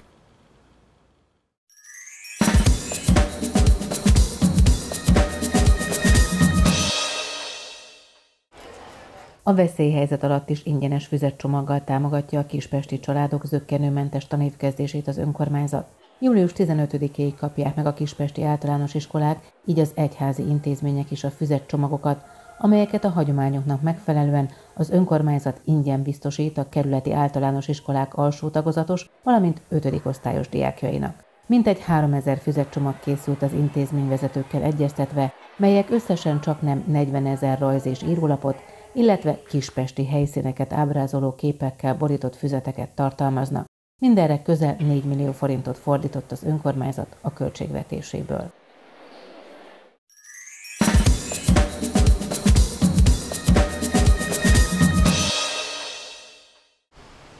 Véradást szervez május 23-án szombaton a Kispesti Véradók Egyesülete, a Csokonai utca egy három szám alatti klubhelységében reggel 8 és délután 15 óra között. Természetesen a jelenlegi járványügyi helyzetre való tekintettel az Egyesület véradásán az Országos Vérellátó Szolgálattal közösen biztosítják a megfelelő, biztonságos körülményeket, a higiéniát, a szükséges eszközöket. A szolgálat közleménye szerint ne jelentkezzen véradásra és ne lépjen be a véradás területére az, aki az utóbbi egy hónapban külföldön járt, kimutatták nála a koronavírust, valószínűsítetten vagy igazoltan koronavírus fertőzött személlyel került szoros kapcsolatba, hirtelen megjelenő betegsége volt magasabb, mint 37,5 fokos lázzal, jelentkezett nála köhögés, erős fáradékonyság, légszomj, izomfájdalom. Az Országos Vérellátó Szolgálat a véradók és a dolgozóik biztonsága érdekében a véradás helyszínére történő belépés előtt biztosítja és elvárja a készfertőtlenítést. Érintésmentes lázmérővel megmérik a jelentkezők testhőmérsékletét, és a 37,5 fokos vagy azt meghaladó hőemelkedést mutató jelentkezők nem léphetnek a véradás területére. A véradási helyszínen korlátozzák a helyiségben tartózkodó véradók számát. A kérdőívek kitöltésére, a várakozásra és a véradásra szolgáló terület mindig úgy kerül kialakításra, hogy biztosított legyen az egyes véradók között a minimum másfél méteres távolság. Minden véradó számára a saját íróeszköz biztosítanak a kérdőív kitöltéséhez és egyben a dokumentum aláírásához. Igény szerint sebészeti maszkot biztosítanak a véradóknak, és tájékoztatják őket a maszk helyes használatáról, illetve gyakran fertőtlenítik a helyiséget. A levett vérmintákból nem történik koronavírus szűrés, a koronavírus cseppfertőzéssel terjedő betegség, a fertőzés tehát vérátömlesztéssel nem adható tovább, írja még közleményében a vérellátó szolgálat.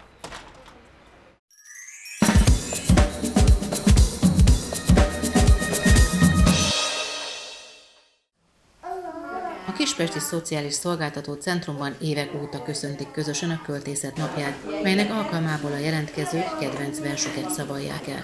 A járványhelyzet miatt idén ez elmaradt.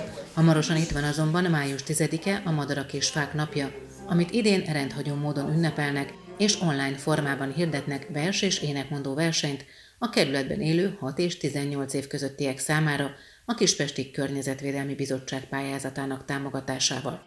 Azt kérik, hogy aki részt szeretne venni, szavalja, énekelje el kedvenc, madaras, fás, állatos, növényes dalát, versét. A szavalatot, dalt vegye fel videóra, és küldje el a felvételt a kispesti madarak kukac gmail.com e-mail címre május 1-ig. E-mailben visszajelzést kapnak a gyerekek, és a szervezők kérnek majd egy nyilatkozatot a szülőktől, melyben hozzájárulnak ahhoz, hogy a verseny végén készítendő videomontásban megjelenhessen ez a produkció is. Az eredményhirdetés május 10-én lesz, melyet a szolgáltató centrum online felületein megjelenít. Az első három helyezett értékes tárgyutalomban részesül, és produkciójuk megtekinthető lesz online is. Ezen kívül minden résztvevő oklevelet kap, és szerepel a videomontásban is.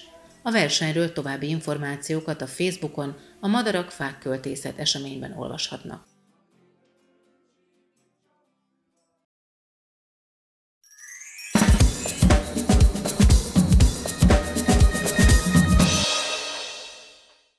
Pályázatot hirdet a Kispesti Kóficok kerületi napközis tábor Hiányzik a világ, azaz képek, rajzok, írások a négy fal közül címmel. Kispesten lakó, itt iskolába járó 6 és 18 éves kor közötti gyerekek és fiatalok pályázhatnak bármilyen technikával készült alkotással, legyen az például rajz, festmény, montázs, kollás, fotó vagy kisplasztika, illetve maximum kétoldalas, 4000 karakteres írásművel a megadott témában. A pályaműveket folyamatosan 2020. június 15-én 20 óráig várják, és a beérkezett pályaművekből előzetes galéria készül a Napközis Tábor Facebook oldalára. Így tehát érdemes rendszeresen alkotni és küldeni a műveket. A pályázati anyagot a karanténpályázatkukat gmail.com címre várják. Egy pályázó több, de technikánként maximum 5 pályaművel pályázhat. A pályázatnak tartalmaznia kell a pályamű címét, a pályázó nevét, a pályázó életkorát, a pályázó iskolájának nevét és címét, abban az esetben, ha nem kispesti iskola, az osztályát, a pályázó e-mail címét és ha van a telefonszámát. A pályázatokat kispesti művészekből, civil szervezetek képviselőiből és a kispesti közéletben aktív szerepet játszó helyiekből álló zsűri bírálja majd el. A díjazott pályaművekből kiadványt készít Kispest önkormányzata. Pályázni az alábbi kategóriák szerint lehet. A korcsoportokon belül külön értékelik, díjazzák a képzőművészeti és az irodalmi alkotásokat.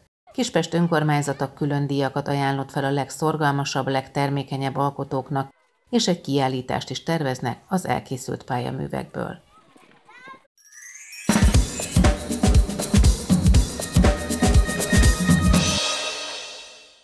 Bezártság, megváltozott élethelyzetek. A karantén utáni életben is minden bizonyal eddig ismeretlen szabályok és korlátok, nehézségek. Mik lehetnek a fogódzók, mi segíthet erősíteni a belső harmóniát, vagy éppen visszaszerezni biztonságérzetünket? Hogyan lehet ebből a helyzetből is erőt meríteni?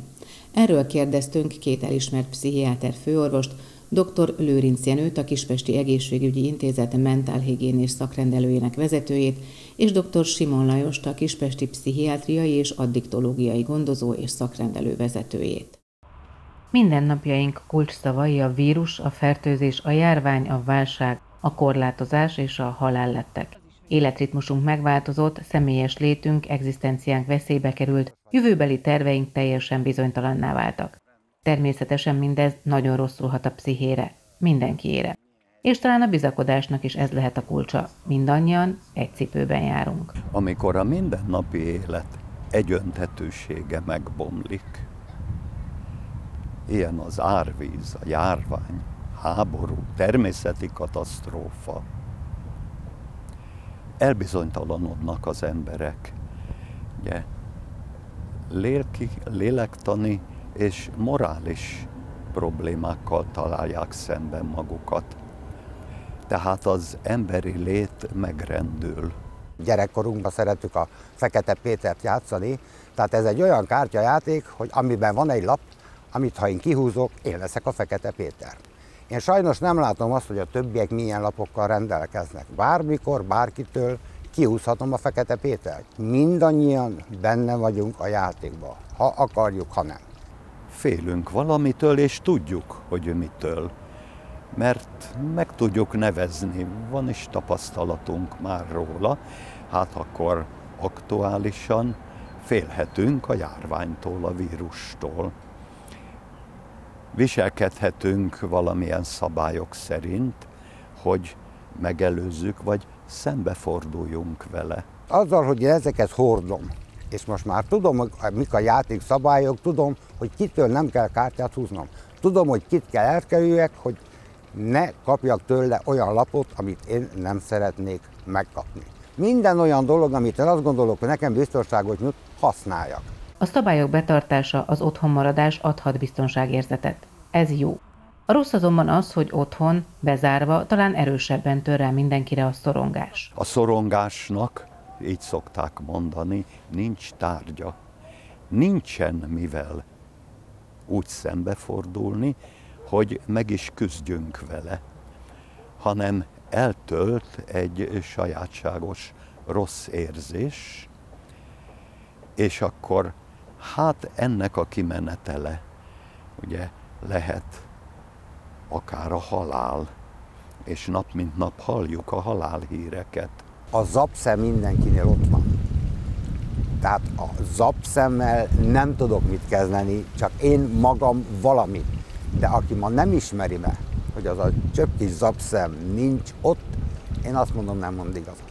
Halálfélelembe élni nem lehet. Halálfélelembe az ember reakciókat tud produkálni, és milyen eltérő reakció. Van, aki felkapcsolja a lámpát, van, aki a sarokba gugol a sötétben, van, aki elkezd rohangálni, van, aki táncol, fütyül, énekel, van, aki mos, van, aki olyan takarítást végez otthon, hogy naponta, húsvét előtti voldra megy minden, mindenki másképp oldja meg. Egy dolog, ne féljünk a haláltól, mert nem jön el olyan könnyen, ahogy terjesztik ahogy a hírek mennek. El kell azonban fogadni a helyzetet. Ez a legfontosabb és a legelső lépés. A kihívást az egészség megőrzése jelenti. Ennek viszont alapfeltétele a jól működő immunrendszer. Az pedig szoros összefüggésben van a kiegyensúlyozottsággal, a lelki békével. Tetteink, reakcióink legyenek tehát olyanok, amelyek a jelen helyzetben az érvényes szabályok betartása mellett kivitelezhetőek. Ha én elfogadom ezeket a játékszabályokat, akkor el tudom érni, hogy én ne húzzam ki azt a láthatatlan lapot, ami mindenkinél ott van. És akkor nagyon remélem, hogy ez az első hullám, és ezeket így betartjuk, akkor sikeresen fogjuk tudni venni az akadályokat. Gondolkozni kell, és mindig a nekünk saját magunknak megfelelő lazítási formát, vagy kikapcsolási formát kell választani. Érdemes a bennünk lévő eddig kiaknázatlan tartalékokat felfedezni, és erre, valamint a pozitívumokra koncentrálni. Tartalékaink mozgósítása által megtapasztalhatjuk saját erőnket, hogy mire vagyunk képesek. Bizonyosan többre, mint gondoltuk. Jó tanácsok vannak, szakemberek mondanak szakdolgokat, én próbálok egyszerű emberi nyelven beszélni. Lehet, hogy az a légzés technika, amit mond, én javasolnék, hogy levegőbe bent tart és kifúj, másnál nem működik, mert nála nem ez fog működni, nála az fog működni, hogy hallgatja a Donatuti orgonák most nyílnak, mert május van, nem, hogyha jól tudom, hogy szép lassan, és akkor neki ez fog ja, a feszültségét oldani. Nagyon-nagyon fontos, hogy egy frusztrációs érzés van bennem. Tehát nem tudok szabadon létezni. Nem tudom azt csinálni, amit eddig én csináltam. Frusztrált vagyok, feszült vagyok, zaklatott vagyok, nyugtalan vagyok, félek, reszketek, mi lesz, hogy lesz, nem merek kimenni, jönnek a telefonok, mit csináljak, nem bírom. Egy dolgot tudok csinálni, úgy tudok lazítani, figyelmet elterelni, ahogy én szeretek. Mi a jó nekem? Mindenkinek van valami életfilozófiája. És ez az életfilozófia nyilvánul meg most is. Sőt, hát kiki elmélyed önmagában, próbálja értelmezni önmagát. A minap találkoztam egy kollegiális híradásban ezzel a szóval, hogy rátalálás. Tartsunk, keressünk rátalálási gyakorlatot egy kis csoportban, igen, hogy kiki önmagára rá tudjon találni, majdnem azt mondanám, fedezze fel önmagában azt az embert, aki valaminek ellenére képes tenni valamit, képes a félelmével megbirkózni, képes a szorongásával szembenézni. Bátorságunk, kitartásunk, tűréshatárunk tágításának megtapasztalása mind olyan pozitív erőhöz juttatnak bennünket, amelyből nem csak most, karantén időszakban, de ezután is táplálkozhatunk. Amitől furcsa, de könnyebb lesz a mindennapi élet. Nehéz helyzetből megemberesedve, megerősödve, lelkileg megerősödve tudjunk kikerülni, mert ehhez is megvannak. Az emberi természetben megvannak a lehetőségek, az adottságok. Ha azt az énünket engedjük szóhoz jutni, hogy nehéz helyzetben, amikor kockázatot kell vállalnunk, mert valószínű, hogy ezt a kockázatot nem ússzuk meg. Igen, mernünk kell vállalni, ehhez bátorság kell. De a kreativitás, a kezdeményezőkészség, az megnövelhető. Ugye ebben az úgynevezett veszélyhelyzetben akkor a lelki gondozó, a szociális munkás, az orvos, a pszichiáter feladata talán éppen annak a segítségnek a nyújtása, szempontok nyújtása lehet, hogy valaki képes legyen önmagát valamiképpen újra megteremteni. De én hangsúlyoznám azt is, hogy meg tudunk kapaszkodni eszmékbe, meggyőződésekbe, erkölcsi értékekbe. Hiszen vannak annak példái, hogy akár feláldozták önmagukat nehéz helyzetben emberek, mert a hivatásuknak éltek. Az fontosabb volt, vagy embertársuknak segítsenek. A mai helyzet elszigeteli egymástól az embereket, de paradox módon az elszigeteltség össze is hoz bennünket. A fiatalok segítenek az időseknek, a szomszédok egymásnak, és gyakrabban érdeklődünk hozzátartozóink hogy léte felől. Érdemes ezeket a pozitív irányba történő változásokat a jövőben is, ha már nem lesz járvány és korlátozások, megőrizni. Kereshetünk kapaszkodókat. Ön, mibe tudunk megkapaszkodni egy ilyen helyzetben, amikor, amikor megingott körülöttünk a világ? Például miben? Kereshet, kapaszkodhatunk társba, családba, barátba. Bizonyára ezt sokan megteszik, mert ö, ösztönösen is fölismerik, hogy igen, ő van, és, és össze kell fognunk. Ugye nagyon gyakran halljuk ma, hogy fogjunk össze, erőnket egyesítsük most. Azt gondolom, hogy az összetartás nagyon sokat számít. Tehát annak elejére azt gondoljuk, hogy a házban csak mi vagyunk és egyedül vagyunk, nem vagyunk egyedül. Ez azért mondtam azt, hogy nézzük mester, hány fény van a lakásokban. Minden fény mögött egy ember van. Minden fény mögött él valaki, minden fény mögött ugyanolyan helyzetben van, mint én. Összetartunk. Ő is otthon marad, én is otthon maradok. Ő is figyel rám, én is figyelek rá. Én szerintem pozitív irányba fogja ezt megváltoztatni az egészet. Kell, hogy megváltoztassa tulajdonképpen, mert ha majd szép lassan újraindul az élet, és újra fog indulni, mert próbálkozások már vannak, akkor bizony-bizonyos szabályokat be kell tartani, és akkor nem lesz problémák. Családok vannak, akik azt mondják, hogy ennyien mi hárman soha nem ültünk le ebédelni. Tehát otthon van anya, apa és a gyerek. Sosem ültünk le ebédelni. Mióta nem ebédelünk együtt? Mióta, na gyertek, kártyázunk el, játszunk valamit, egy aktivitét, egy bármit. Végre itthon van a család, végre együtt vagyunk, végre ismerjük egymást. Ráébredünk, ráeszmélünk arra, hogy nem kell egyedül lennünk. Tudunk támaszkodni valamire, valakire. Lehet, hogy aki most ezt látja, hallja, igen, arra gondol, hogy igen, vannak-e olyan tartalékai? Most ezek lehetnek ismerettségek egy leendő munkahelykeresésben. De lehetnek anyagi tartalékok, hogy a következő számlát ki lehessen fizetni. Lehet olyan tartalék, hogyha mégsem sikerülne ugye a, az utcára kimenni, mert egy nem várt fordulat még azt is megnehezítené, hát akkor az otthoni, az otthon elővehető dolgokból is ideig óráig ki lehessen húzni valameddig. Hogy meddig, azt nem tudjuk még pontosan. Annyi bizonyos csupán, hogy minél mélyebb egy válság, annál maradandóbb változást tud előidézni. A kínai írásban, ott, ahol az egész járvány elindult és már urá lettek a helyzeten, a krízist két fogalommal fejezik ki. Ez a két fogalom az esély és a veszély. Remélhetőleg nem csak veszélyt, hanem egy esélyt is kaptunk most.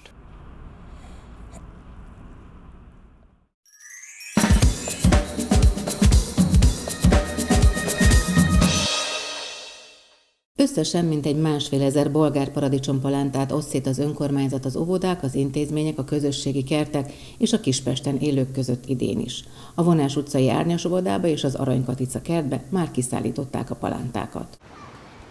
Egy csipet mágia, napfény, kitartás, némi kertészeti tudomány, sok eső vagy elegendő locsolás, és persze a jó mag vagy palánta meghozza a gyümölcsét, jelen esetben az ízletes, hatalmas bolgár paradicsomot, mondja a Kispesti Bolgár Nemzetiségi Önkormányzat elnöke. A Kispest testvérvárosából Smoljanból érkezett magokat, mint minden évben idén is a Közpark Kft. munkatársai palántázzák.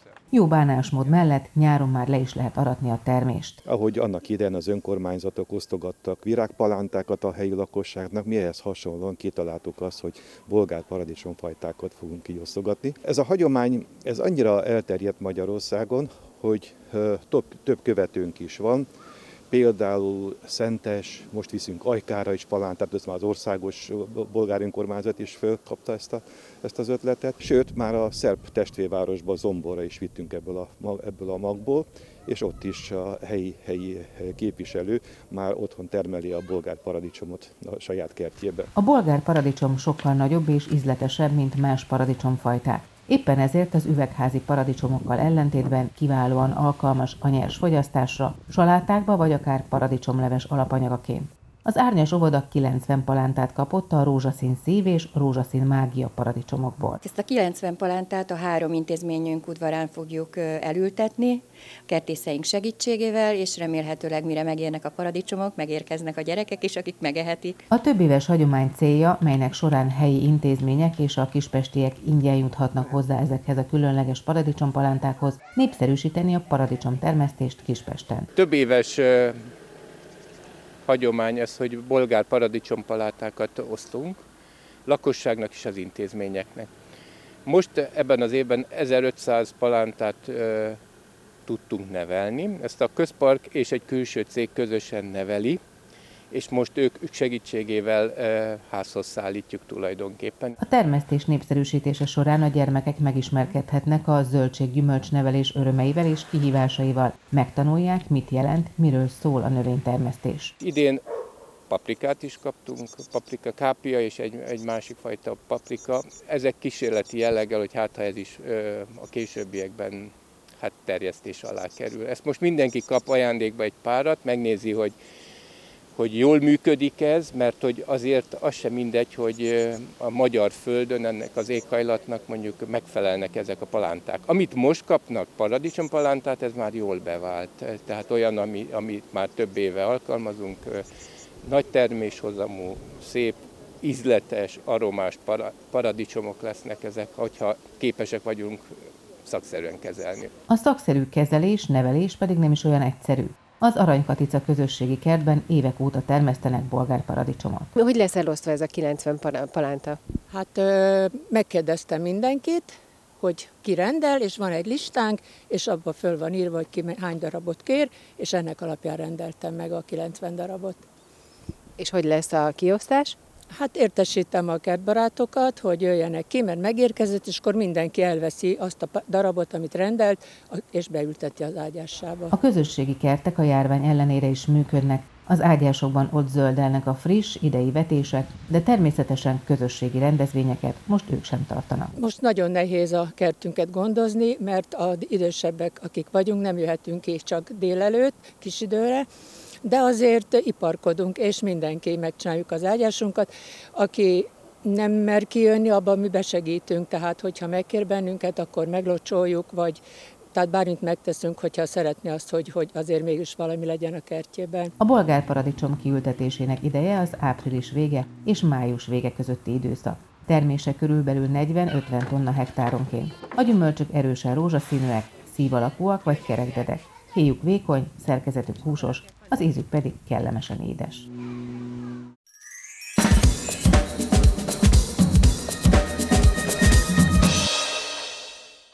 Tíz gyönyörű mai modern női arc és ugyanennyi igéző tekintet várta a látogatókat a Kámó előtér galériájában hullám be a festőművész tárlatán. A látvány hatásos, köszönhetően a szépségnek, a kisugárzásnak, a méretnek és a friss színeknek. A tárlat címe Kislányok színpadra volt suttognak valamit a fülembe. Mindegyikük más energiát képviselt, mégis egy eredőtől. És tudom, hogy nagyon sokan úgy érzik, hogy be a magát festi meg mindannyiszor, és erről én is kérdeztem őt, és nyilván van is igazság ebben. De már az első találkozásunkkor azt mondtam neki teljes révületben, hogy, hogy itt egy ősi, női energia gomolyog, és mindegyik kép egy-egy arhetipus tudattalan folyamatok, évtizedek, évszázadok, évezredek női történeteinek megjelenítői. A kislány, a szűz, a csábítónő, a harcos, az anya, de ahány érzelem csak átfuthat egy nő arcán, az biztosan felfedezhetjük egy dacos, vagy éppen sírásra görbülő szájban, egy tekintetben, egy lehulló tincsben. Észrevették, hogy szinte minden nő egyenesen ránk néz. Igen, akár nevet, akár dühösen néz, akár csábítóan mosolyog bármelyikük, szinte kihívóan néznek ránk. Egyenesen a szemünkbe. Nem maradhatunk kívül, muszáj interakcióba lépnünk a képen látható fiatal hölgyel. Ezt teszi maga az alkotó is a munka egy adott pontján. Az, amikor én úgy megyek le a műhelybe, hogy már köszönök neki, hogy hello, onnantól kezdve az enyém. Tehát, hogy még nincs kész, de már tudom, hogy meg lesz, hogy, hogy, hogy olyan kép fog belőle születni, ami számomra megüti a mércét, és, és beállhat a sorozatba. Tehát, hogy ott, ott is van már festés közben egy pont, ami, ami a nagy boldogságot okoz. Amikor már érzem, hogy nem fog ki rajtam, hogy én olyan tudok alkotni, amit, amit szeretnék. A cél megfogni a tekintetet, nem a nézőjét, persze az ővét is, a modell tekintetét és beletenni valamit be a érzéseiből. Ahhoz, amit én érzek, megtalálni a megfelelő karaktert, az, az nem könnyű. Hogy Szását hogy választotta ki? Valószínűleg a szín volt a legerősebb nálam a türkiszt a lilával szerettem volna. Tehát érdekes, hogy, hogy vagy a szín lesz nagyon meghatározó, és aztán sokkal inkább később jön valami érzés, amibe így belekapaszkodok, vagy ami miatt keresek egy karaktert. Őnála előtte egy nagyon erős karaktert festettem. Tehát ez is számít, hogy, hogy egyik kép után mi lesz a következő.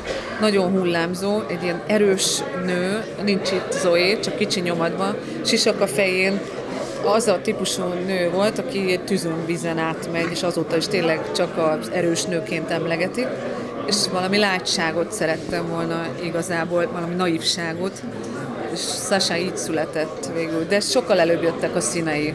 Ez, ez tipikus példája ez a kép annak, hogy a szín volt a legfontosabb. Éppen a színeknek köszönhető, hogy a képek frissességet, elevenséget, éltető energiát sugároznak, és ezzel töltik be és fel nem csak a kiállítótermet, de a látogatót is. Nagyon sokszor dolgozom késsel, sőt a munkánk befejező részét egyértelműen nem is késsel, hanem egy kis köműves szerszámmal csinálom, és ezen nagyon klassz csikokat lehet húzni, ettől kap egy vibrálást, és egyébként is szeretem ezeket a tüzes színeket. Az olajjal is azért dolgozom, mert eleve tüzes színeket lehet belőle kihozni.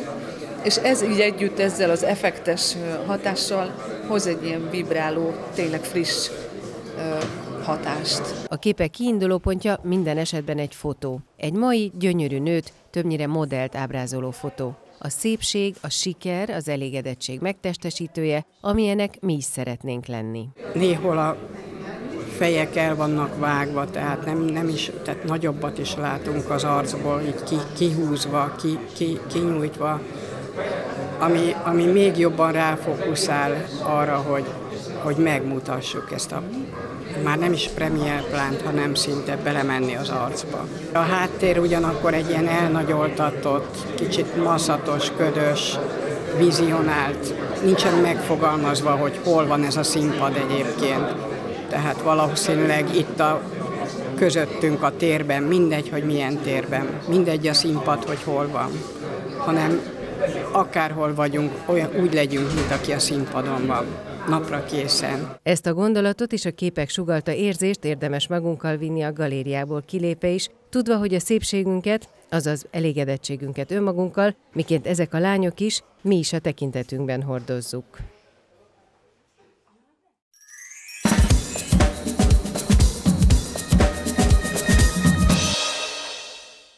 Fehér éjszakák, különleges vízi és szárazföldi élővilág, a jégi és a tűzvidéke egy helyen, korai demokratikus parlamentarizmus és sajátos mintázatú, otthon készített kardigánok.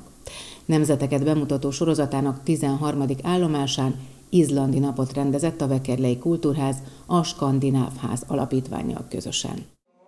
Nem egyszerű rendezvúzni Izlandon. Annak sem, aki turistaként érkezik, és annak sem, akinek családja a vikingek koráig vezeti vissza felmenőit. Izlandi nevet fogunk alkotni. Mit lehet tudni az izlandi nevekről? Az izlandi nevekben nem használják a vezetéknevet, hanem a gyerekeket mindig vagy az apáról nevezik el hivatalosan, de mostanában már az anyáról is el, el lehet. És ugye, hogyha lány lesz a gyerek, akkor dottír végződést kap, hogyha fiú, akkor pedig szomvégződést. Akkor én Judit vagyok. Igen, akkor beírjuk először, hogy Judit, és akkor az édesapa nevét szeretném kérni. Robert. Robert. Hölgy, és akkor nézzük, hogy azt adta ki, hogy Judith Robert Dottir, ez, a, ez egy ilyen furcsa betű, ezt állítólag ezt kell ejteni úgyhogy ez akkor az ön hivatalos neve. És ugye mivel mindenki, akinek Robert az apja Dottir lesz, ezért nem lehet tudni, hogy kikinek a rokona, mert ugye hasonló a nevük, és az izlandi társkereső internetes oldalon azt találták ki, hogy beépítettek egy olyan programot, ami, hogyha megjelölök egy lányt, akkor lefutta gyorsan egy, egy családfakeresést, és ebből megmondja, hogy nem vagyunk-e véletlenül rokonok, elkerülendő, hogy esetleg unoka testvérek szeressenek egymásba. Akkor mindenki készít családfát, ez az alap. Ö, igen, mert mindenki szom meg ír. Nem egyszerű öltözködni sem, ha valaki neki indul a messzi észak legészakibb csücskének. Tűz és jég, mindez együtt. Általában azt tudják az emberek Izlandról, hogy a tűz és a víz országa, aminek ugye érdekessége az, hogy Európa és Amerika között helyezkedik el félúton, és igazából ez egy óceáni hátság, ami kibukkan a tenger felszíne fölé, és innen kezdve ugye a tűz az innen ered, hogy vulkáni a sziget, vulkánosság építi fel, és napjainkban is rengeteg működő vulkán van, és növekszik a sziget, tehát azt szokták mondani, hogy amennyit a tenger elvesz az abrázióval, annyi esetleg növekszik is a vulkánosság által. Persze ennek megvan a veszélye is, hiszen hogyha nem is túl régi múltba megyünk vissza, hogy a európai légi közlekedést is meg tudja bénítani egy-egy ilyen vulkánkitörés. A jég, az pedig, hogy onnan ered, hogy nagyon északon vagyunk, hiszen hogyha valaki elmegy Izland legészakabbi részére, és a nagy szigetről egy kisebb szigetre átmegy, akkor az északi sarkörön állhat már és innen kezdve ugye ez egy viszonylag hűvös terület, és mivel elég jelentős szintkülönbség is van, ugye 2000 méter fölé emelkedő a legmagasabb csúcs, ezért sok jég van a területen. De Európa legnagyobb jégtakarója az itt található, Vatnajökull, és azt lehet mondani, hogy a szigetnek több mint a 10%-át jég borítja. Tehát ez a kettő kimondottan természeti érdekesség. És hogyha már van jég és magaslatok vannak, azért a nap is süt természetesen a időszakban, ez a jég olvad, innen pedig az következik, hogy rengeteg vízfolyás van, és mert egy fiatal felszínről van szó, nagy szintkülönbségek vannak, ezért ezeket a szintkülönbségeket ezek a folyók nagy vízesésekkel küzdik le, tehát ez megint egy roppant érdekes dolog. Izlandon nagyon fontos a tisztaság és az eredetiség. Tulajdonképpen a szágák is erről tanúskodnak, amik ugye a 12. században lejegyzett ősi régi történetek, úgyhogy lehetne akár ez egy, egy vezérfonal, amit a fényképeken is um, észrevehetnek a, a nézelődők. Tisztaság és eredetiség, mit mond ez a ma emberének a hétköznapokban? Talán azt, hogy nagyon fontos megőrizni a gyökereket és visszatekinteni a múltra, és ennek fényében értelmezni a jelenünket, és így tervezni a jövőre is. Izlandon van az egyik legrégebbi, ha nem a legrégebbi parlament. Ezt már a 10. század végén, közepén végén megalapították. 1944-ben nyert el a teljes függetlenségét az ország, addig volt Dán fennhatóság alatt is ma viszont már egy teljes jogú köztársaság. Nagyon jellemző az izlandiakra a szabadosság, például pont emiatt, hogy sikerült a függetlenségüket elnyerni, és nagyon fontosnak is tartják ezt, tehát ez egy fontos érték mind a mai napig. Ugyanakkor egy pici északi államról van szó, tehát valamennyire függenek a svéd, dán, norvég országoktól és államoktól is minden a mai napig, és nagyon élénk a kulturális együttműködés. Ők az egyetlen király nélküli ugye, skandináv állam, ugye ugyanúgy hát választások útján jön létre ugye a parlament vezetése, az országot ugye kormányozzák, hol erre, hol arra, úgyhogy az izlandiak persze hát nyilván nagyon, nagyon büszkék erre a függetlenségre, meg is van ennek a függetlenségi napjuk, úgy ahogy a, a nyelvükre is nagyon büszkék, hiszen ez nagyon régi, vagyis hát abból a szempontból mondanám réginek, hogy nem sokat változott el szigeteltsége nyomán, úgyhogy ez áll legközelebb ahhoz a, az óészaki középkori nyelv nyelvhez, amelyet egykor mondjuk a svédek, meg a norvégok, meg a dánok is beszéltek, úgyhogy ezért ők Óizlandinak is szokták hívni, azért ez látszik, hogy nagyon büszkék arra, hogy, hogy ennyire közel áll az ő nyelvük ma is a középkori nyelvhez. Mennyit ismernek Európa népei, vagy akár a világ népei Izlandról, mennyire látogatnak oda, mennyire ismerték meg ezt a területet? Manapság azt hiszem lehet mondani, hogy Izland egy nagyon divatos úti cél lett. A fapados társaságok, légitársaságok megjelenésével egyre elérhetőbb is szerencsére, vagy épp hogy nem szerencsére, ugyanis hát nem is tudom, hogy melyik évtől kezdve, nagyjából 2008, amikor volt ugye a válság, ami Izlandon épp hogy pozitív irányban sült el, hiszen akkor a, a vulkán ugyan megbénította a légi közlekedést, de az izlandi gazdaságot fellendítette ilyen értelemben, hogy át kellett helyezniük a turisztikára, a turizmusra a hangsúlyt, és azóta nagyon sokan látogatnak el az országba. Olyannyira, hogy nagyjából 300 ezres az izlandi lakosság, és most nem tudom a legújabb számokat, de több millió turista érkezik évente az országba. Úgyhogy ez egy nagyon fontos lába lett az izlandi gazdaságnak az eddigi fő láb mellett, a halászat mellett. Ugye azt mondta, hogy ez jó is, meg rossz is, ugye itt érintetlen tájakat találhat még mindig az ember. Mi a jellemző, milyen az éghajlat, mikor van hideg-meleg, mikor van napsütés, sötétség, és mik a legérintetlenebb helyei? Az éghajlat egészen szélsőséges, mondhatjuk, hogy fél évig sötét van teljesen, majd nem teljesen, egy-két órára kell fel a nap, és akkor úgy nagyjából világos van. Az év másik felében pedig 24 órában süt a nap. Viszont a golfáramlat az nagyon jó barátja az izlandiaknak, ugyanis emiatt nincsenek nagyon extrém telek. Nagyjából, hát szokott azért a mínusz, tehát nulla alá menni a hőmérséklet, de általában ilyen 10 fokok vannak. Hogyha nyáron 15 fok van, az viszont már rövid újú pólós időjárás, tehát sokkal, mm, sokkal intenzívabb a napsütés éjszakon már. Érintetlen területek? Érintetlen terület az ország nagyon nagy százaléka. A, felföld ugye az ország középső része, oda csak speciális gépjárművekkel lehet eleve behajtani. Ott szinte, tehát nem, ott nem szinte nem lakik senki. Van a, a nagy út, amivel, amin körbe, körbe lehet járni az egész szigetet, ott már tele van minden turistákkal, fizetős parkolók, fizetős vécék, ahogy azt innen Európából is ismerjük, de gyönyörű, érintetlen, ott is mondjuk a vízesés ki is van írva, hogy nem szabad ö, oda menni nagyon közel, megérinteni, bár ezt nem mindenki tartja be mindig. Mi az, amit az északi népek történelméről elsőre tudnánk mondani?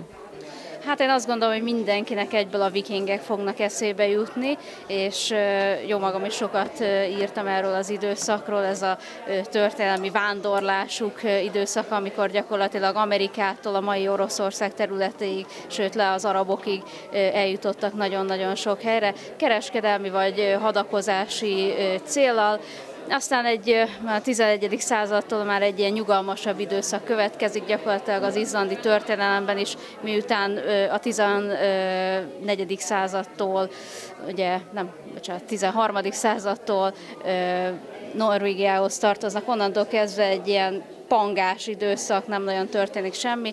Aztán a második világháborúval kapcsolódnak be ismét a történelem körforgásába, amerikai katonák megjelenésével kinyílik előttük a világ. De vissza a vikingekhez és legfőbb harci eszközükhöz. Gondolom akkor ez egy jobb módú viking harcosoknak a felszerelése, mi mindent látunk itt. Tehát egyrészt láthatunk ugye fegyverzeteket, védőfegyvereket és védőeszközöket. Na most először is kezdjük a fegyverekkel.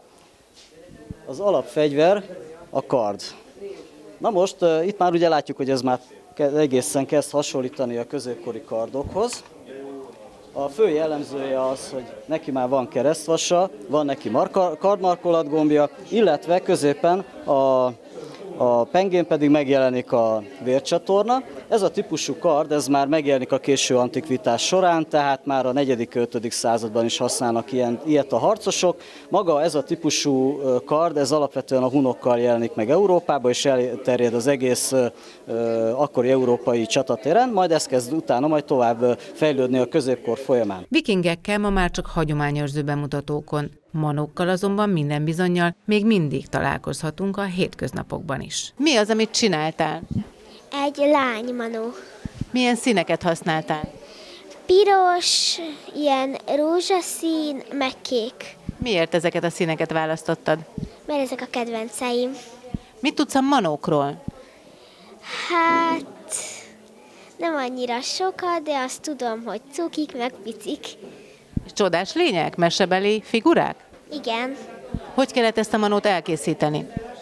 Hát ö, először letépünk egy ö, kb. hát nem olyan nagy, de nem is annyira kicsi ö, gyapjút, azt tűvel így szurkáljuk, és egy ilyen gömbölyű alakot kell belőle csinálni.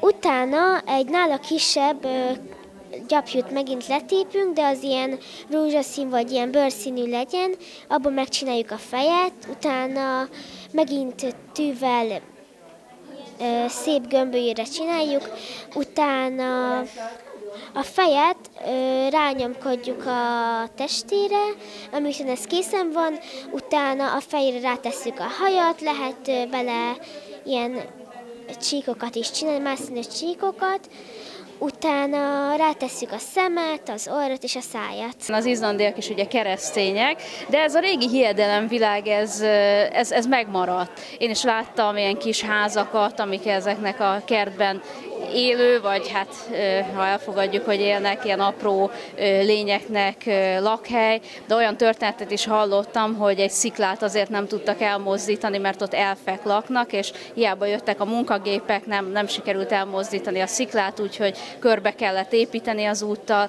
illetve hogy tiltakozások voltak az irány, hogy, hogy egy bizonyos területen keresztül menjen egy út, szóval hiszik is, meg nem is az izlandiak. Biztosan, hogyha így megkérdeznénk valakit, akkor azt mondaná, hogy ó, ez csak mese, de aztán lehet, hogy azt, hogyha egy kicsit belemennénk, akkor azért kiderül, hogy hm, hát azért csak-csak hiszi egy kicsit, meg, meg nem is. Úgyhogy én azt gondolom, hogy ez, ez egy olyan élő folklór hagyomány, ami, ami egy, ilyen, egy ilyen kedves plusz, amelyről hallhatunk, hogyha Izlandon járunk, és talán meg is tapasztalhatjuk ilyen módon, hogy látunk egy-egy ilyen kis házat, vagy, vagy egy ö, olyan ö, utca elnevezést például, amely arra utal, hogy itt akár elfek, vagy akár olyan más ö, apró népek élnek. Vannak viszont olyan lények, amikkel biztosan nem találkozunk Izlandon. Ha valaki fél a kígyóktól, akkor menjen Izlandra, mert kétéltőek és ülők nincsenek a szigeten természetes módon. Ezen az éghajlaton milyen állatok vannak viszont ezzel szemben? Tehát azért ez az éghajlat nem annyira szélsőséges, mert az észak-atlanti áramláshoz tartozó meleg áramlások érintik a partvidéket, tehát azért azt lehet mondani, hogy ahhoz képest, hogy milyen északon van viszonylag enyhe ez az éghajlat, azért ez az enyhesség azt jelenti, hogy a sziget belsében azért cudarhidegek is tudnak lenni, de partvidék az viszonylag kellemes.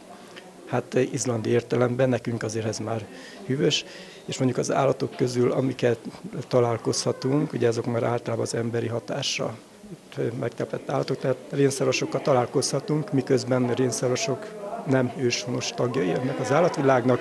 Ugye az izlandi lovakkal, birkákkal, szarvasmarákkal, ezekről majd az előadáson is előkerülnek képek.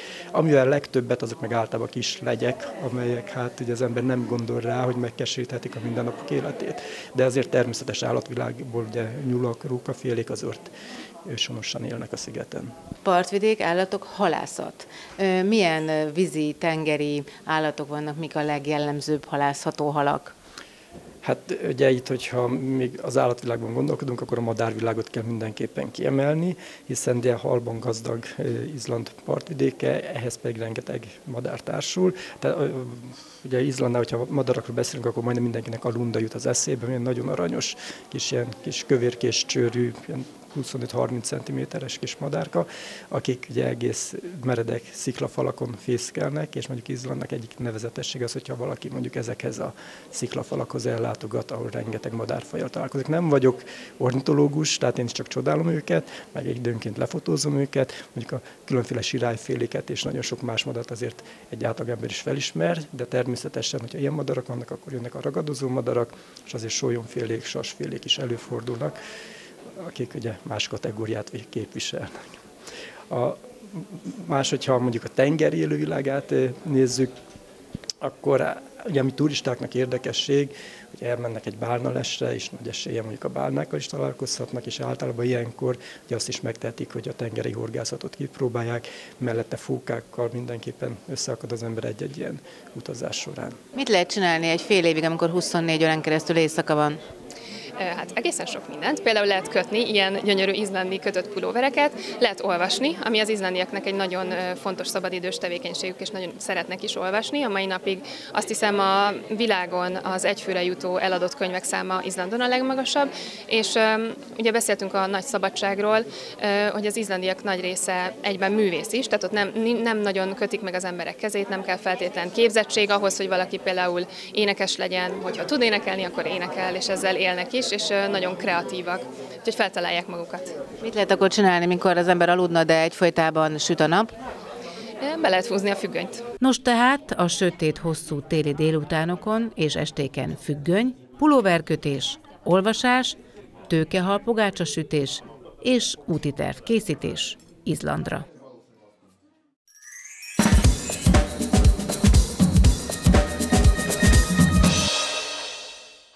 Hányszor vedlik élete során a bocsáska? Hogyan kell megfelelő páratartalmat biztosítani a különböző rovarfajoknak? Ezekre a kérdésekre kaphattak választ a Bójai Iskola 5. osztályos tanulói. A Bójai Vegyésznapok keretében Szőke Zoltán az iskola egykori diákja mutatta be rovar és preparátum gyűjteményének leglátványosabb darabjait a diákoknak. Sokszor írtózunk tőlük, és gyakran félelmetesnek tartjuk az állatvilág ezen apró egyedeit. A természet a környezet sokak számára nem a szabadban töltött időt jelenti, hanem a rovarok, a bogarak élőhelyét és a tőlük való rettegést. Szőke Zoltán különleges érdeklődési köréről mesélt a bolyai iskola diákjainak. Nem az a célja a mai beszélgetésünknek, hogy innentől kezdve mindenki imádni fogja a rovarokat, és nem fog sikongatni, hogyha berepül valami méhecske vagy darázs teremben, és azt fogja mondani, hogy uh, most vigyázba állok, mert Szőke Zoli. Nem, erről nem ez lesz a mai beszélésünknek a célja, hanem az a célja, hogy mindenfajta ellenézéseteket egy kicsikét vetközétek le, és nem kell szeretni őket, hanem elfogadni ezeket az élőlényeket, akik körülöttünk élnek, és ha már megtanuljátok az élőhelyeiket, a szokásaikat, a Zoli meg fogja mutatni, meg ezeket a csodálatos preparátumokat is majd el fogja mondani, hogy hogyan készül. Másképp fogtok ránézni. Rőri Géva az intézmény igazgatója beszélgetett Zolival, az iskola egykori diákjával, aki különleges hobbiának köszönhetően nemrégiben az Emberi Erőforrások Minisztériuma a Nemzet Fiatal Tehetségeiért ösztöndíj pályázatán Természetközelben című munkájával 200 ezer forint támogatást nyert. 8. Szent László gimnáziumba vették fel, természettudományi szakra. Ebből következik, hogy már nagyon értitek és látjátok is, hogy Zoli érdeklődési köre természet. Nyilván egy emelt szintű biológia-kémiai érettségi, avval az eltére szeretnék menni, oda nyilván a természettudományi tagozatra. És mik a terveid? Tehát, hogy mivel szeretnél foglalkozni? Ez már így körvonalazódik benned? Tehát, hogy most azért ez egy elég nagy fokú hobbi szerintem, ugye ez az állattartás, rovartartás a későbbiekben is talán ezzel szeretnél egy kicsit mélyebben foglalkozni? Mindenképpen úgy kell, hogy szakosodjak valamire, és nyilván először egy alapbiológus diplomát szeretnék megszerezni, és utána majd kiderül, hogy mi az, ami mégis így jobban érdekel ezen belül. Az élő rovaroknak ugye megvan, hogy milyen körülményeket kell biztosítani, nagyrészt Hát ugye megpróbáljuk azokat a körülményeket megteremteni, ahol ugye a természetes élőhelyükön, amik úgy adódnak, és hát olyan tápnövényeket adunk nekik, meg párásítás, meg különböző dolgokat még így rásegítünk, hogyha esetleg nem úgy jön össze. Például egy vedlés, hogyha nem sikerül, akkor lehet rajta még itt-ott segíteni, de jobb, hogyha alapból ö, meg tudja tenni azt, hogy fölnő. A szenvedélyed ez, igaz? Igen. És neked ez nem teher, hogy este nem filmet nézel, meg gépezel, meg amit csinál egy gyerek, hanem mész az állatok közé, mész a rovarjaik közé. És mit szeretsz bennük? Ez, ez olyan távoli egy gyerek számára, hogy Ma a pillangó, jó, az szép, azt követjük a táborokban mi is, ez, ez pipa, ez, ez van. Na de ők, majd elmondod, hogy ki micsoda, meg az apróságokor, mit lehet szeretni benne? Hát így nem tudom megmondani, de elég sokszínű. Tehát, hogy ha megismeri az ember, hogy hogyan élnek meg, milyen körülmények között, meg ilyesmi dolgokat, akkor így simán meg lehet szeretni. Zoli rovarokhoz való kötődése az elmúlt négy-öt évben növekedett olyan szintre, hogy belemert vágni egy-egy faj házi szaporításába is. Ez a 300 ez csak ilyen tippelés volt, tehát hogy ez csak helyel közel van, mert nyilván nem számolgatom ekkora számnál, úgy van, hogy 30 faj, az biztos. Ez a 30 faj ez úgy tevődik össze, hogy vannak olyan fajok, amiket tudom, hogy sikeres szaporulat lesz belőle, van olyan, amivel meg csak így próbálkozok, és így hát keftelésből van, de nem valószínű, hogy lesz belőle valami. Ugye 30 fajt említettél, ugye az nagyon magas szám. Hogyan tanultad meg azt például, hogy hogyan kell ezeket a különböző fajokat gondozni? Tehát, hogy ezt könyvekből lehet inkább megtanulni, vagy saját tapasztalatot merítettél? Az a probléma, hogy így könyvek tulajdonképpen nincsenek ebbe a témába, csak hát van egy-két külföldi ilyen rovartart, aki leírta, de az sem olyan pontos, Tehát az itteniek, akik a hobbiban így már mélyen belástam magukat, azoktól tanultam meg egy-két dolgot, meg így hát nyilván benne van a saját tapasztalat is. Petéket nem hoztam, mert ugye mindegyik rovar úgy kezdődik, hogy pete állapotban, tehát tulajdonképpen a kifejlett egyet lerakja a petéket párzás után, vagy esetleg vannak olyan fajok, amihez még párzás se szükséges. Ö, lerakja a petét, és akkor különböző időtartamokra megvan, hogy a kelési idő az mennyi, tehát a lepkéknél rövidebb, egy 10 vagy 20 nap általában, de a 20 nap az már elég sok. És a bocsáskáknál olyan 4 és 2 év, nem két év, hát inkább egy másfél év maximum, ami még lehet a kelési idő, de a négy hónap az meg túl gyors, tehát az átlag az olyan 6 hónap, tehát minimum fél év, mire ki kell a petéből. Nyilván nem kell ki az összes pete. Elég sok elhullhat kikelés után, tehát ez sok mindentől függ attól is, hogy mennyire ö, igényes a faj, tehát hogy ö, mennyire nehéz vele így foglalkozni, meg ilyenek, tehát ö, nagy részt az a legjobb, amikor kikelnek és ö, rögtön elkezdenek enni, és nem hullanak le. De emellett vannak ö, levélutánzó fajok, amik hát, hát ö, nagyon nehéz ö, tartani, mert a kelési idő is hosszú, egy olyan 8 hónap, és nagyon ö, nagy páraigényük van, meg eléggé ö, sok mindenbe belebukhat az ember. És hát ö, a felnövésük, vagy hát a kifejlődésük is elég ö, hosszú, az is ö, körülbelül egy olyan egy év, másfél év, és utána egy fél évet élnek, majd petéznek.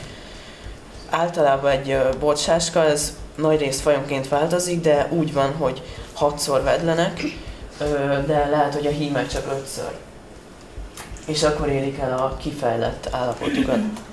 Ez például a Filium filippinicum, a legegyszerűbben tartható vándorló levélfaj, olyan, hát olyan 7-8 centire nőhet meg, a Filium giganteum, ami például itt van preparálva, az, az a legnehezebben tartható, az már vagy ötször kifutásra se sikerült, tehát így vagy pete, vagy ö, lárvát vettem. Tehát úgy van, hogy lárvának hívják azt az állapotot, amikor ö, még nem kifejlett, és még van neki pár darab, pár darab vedlése. Van olyan, ö, amit csak nálad lehet megtalálni? Hát ö, most beszereztem egy olyan fajt, ami elvileg az országban két embernél van, van egy barátom, aki tartja, meg most én kezdtem bele, de elég bonyolult faj az is, tehát körülbelül, hogyha a szaporulatra lehet számítani, ez minimum egy három év múlva, mert hosszú a kerési idő, meg mire kifejlődik, meg elég sok mutató van benne. Ez egy ö, fagyalevő faj, ami a hobbiban elég kevés van. Egy, ö, hát ennek sincs magyar neve, egy perupasma sultei neve van. Nem biztos, hogy jól ejtem, mert ezt még én se vagyok így benne topon, és hát ennek ez a kifejlett mérete, ott van a nőstény, a hím meg a hátán van éppen. És hát ö, már lehet látni, például ott van, mert rakott petéket elég hamar, mert reggel raktam, mert ott vannak azok a kicsik, az éppen pete.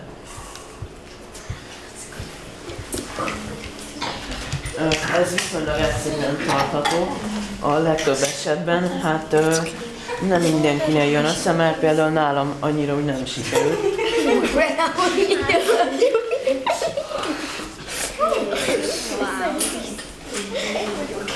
Fekete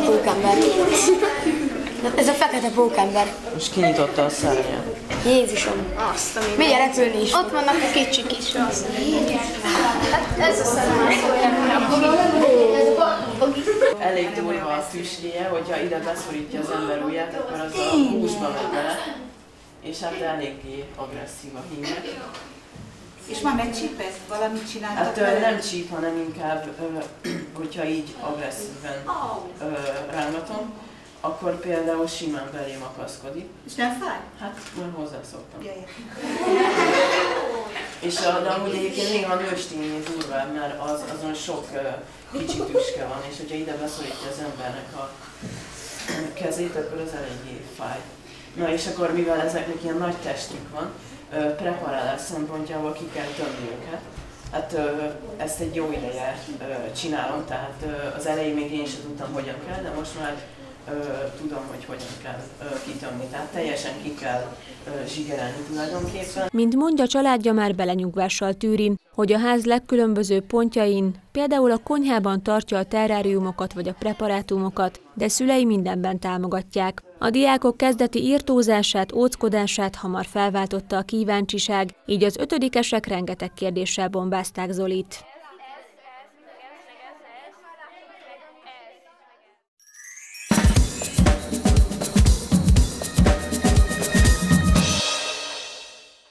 A világháló kimeríthetetlen adományaiból minden nap újat ismerhet meg az ember, ha aktívan internetezik. Azonban lehet rosszul, rosszra is használni az ott található rengeteg információt. Például az emberek gyakran az interneten keresztül igyekeznek saját magukat meggyógyítani.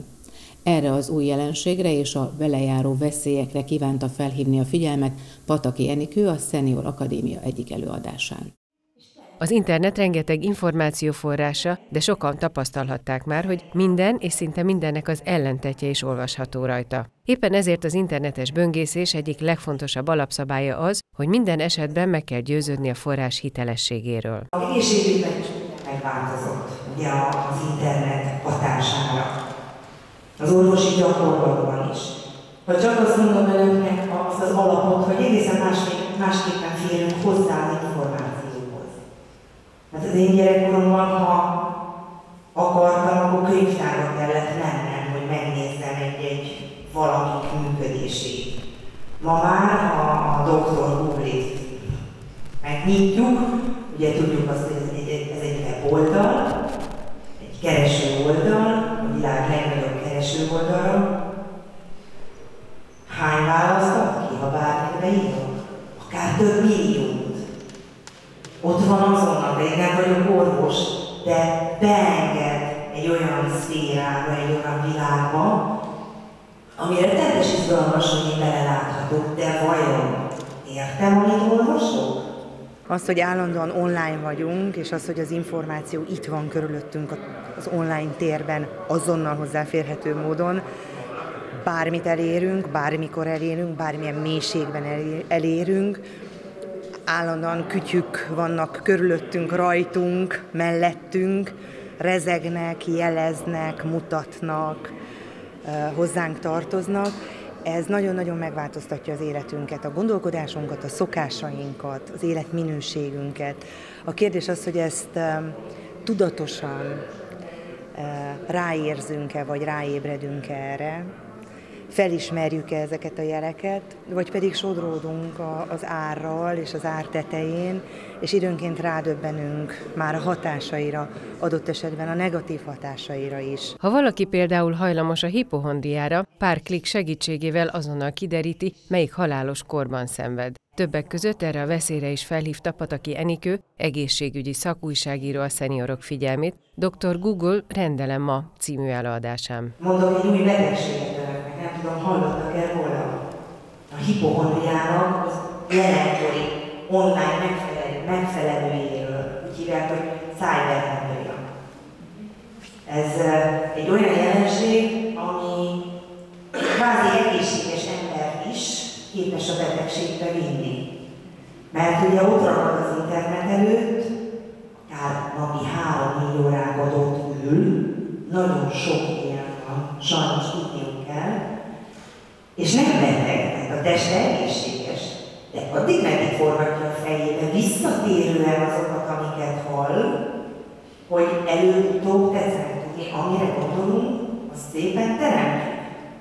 Az előadó a testi, a lelki és a szellemi egészséget egyként, egységként kezelte, hiszen ha bármelyik sérül, valószínűleg sérül a másik kettő is. Tehát amellett, hogy egy óriási kincses bánya, amiben turkálunk, és egyszerre ott van a, a tudománytól az innovációig, ugye az én területem az az egészségügy, az egészségügy kapcsán a legújabb elérhető hazai sikerek, eredmények, mert vannak. Kis közösségek, szigetek, a gyógyítás szigetei, a gyógyítás szakemberei, amellett rengeteg olyan információval is találkozunk az egészségügyről, ami, ami válogatatlan, vagy, vagy kevésbé válogatott, kevésbé ellenőrzött, magyarul nem hiteles. És ez egy másik nagy buktatója az internetes öngyógyításnak. A nem hiteles forrásból való tájékozódás. Hiszen ma már mindenkinek lehet egy honlapja, és bárki írhat cikket bármiről. Osztolok egy kovászos kenyér receptet, mert én is sütöm otthon kovászos kenyeret, írok hozzá, egy kicsit osztom az ész, hogy ezt most ennyi térlegben és ilyen vízből és ilyen hidratáltságú, felteszek három jó fotót, és azzal én véleményt mondok, és, és viszem önöket tovább, mert hogyha rátetszik jönni az én hivatalos oldalakra, és ezt tetszik mondani, hogy ó, a patak enélkül kovászos kenyeret süt, megpróbálom utána én is, akkor úgy bevihetem őt az erdőbe, ha én össze-vissza beszélek, már pedig ki garantálja, hogy amit mondok, az teljes igazság, vagy fél igazság, vagy totális. Csak jól néz ki a fotó. Szelektáljunk, sose higgyük el az első felröppenő blikfangos hírnek, hogyha valamit ajánl. Ha olcsón ajánlja, azt meg végképp ne. Sose küldjük tovább a tízesével érkező leveleket, hoaxokat, spemeket. Um, ellenőrizzük le azt, amit olvasunk. Menjünk utána, hogy ki mondja. Ne higgyük azt, hogyha egy doktor, egy DR van a neve előtt, hogy az tényleg doktor, orvos doktor. Ellenőrizzük le, hogy ő publikál-e máshol, hogy ő hol található, hogy ő fellelhető-e, melyik kórházban, hol az országban, milyen a híre, publikált-e adott témákban máshol, mit mondtak róla, ellenőrzés, ellenőrzés és ellenőrzés, az időszerűség, mikor jelent meg az a cikk, frissítették-e. Ma egy olyan világot élünk, hogy bárki mondhat bármit. Ha azt egy kicsit erővel, meg csinosan, meg mit tudom én, jó környezetben mondja, akkor az hat. És, és a hatások azok, azok um, összeadódnak. Óriási a hírzaj, óriási az információ dömping. És ha megkezdenek figyelni, az ellentétes információk is ott vannak. Lásd, uh, sófogyasztás. Most akkor együnk sót, vagy ne együnk sót? Egészséges, vagy nem egészséges? Kinek higgyek, hogy milyen sót legyek? Vagy akkor mi ne legyen benne meg, mi legyen benne meg, milyen legyen meg? Húsevés. Most akkor, ha daganatos beteg vagyok, akkor csak is kizárólag húst tegyek, mert hogyha a deutérium csökkentés elmét nézem, és ezek világiskolák, tehát dimenzió, ugye a ketogén diéta hús hússal, mert ugye egy ilyen lúgos szervezetben nem terem meg, a, marad meg, nem marad életben a rákos sejt, erre esküsznek, vagy a totális ellentétje az egésznek, hogy mindent tehetek, csak hús nem, mert a hústól szaporodnak a rákos. Nem vagyunk orvosok, nem tudjuk eldönteni, kinek higgyünk. És talán ez a legfontosabb. Még a mindenre kiterjedő információhalmaz birtokában se felejtsük el, hogy nem vagyunk orvosok. Egy panasz, egy betegség esetén egészségünket érintő kérdésekben nem már természetesen az előzetes, hiteles forrásból történő információgyűjtés, de mindenképpen konzultáljunk az orvossal. Ha valakinek valamilyen betegséget diagnosztizáltak, érdemes-e fórumokhoz csatlakoznia?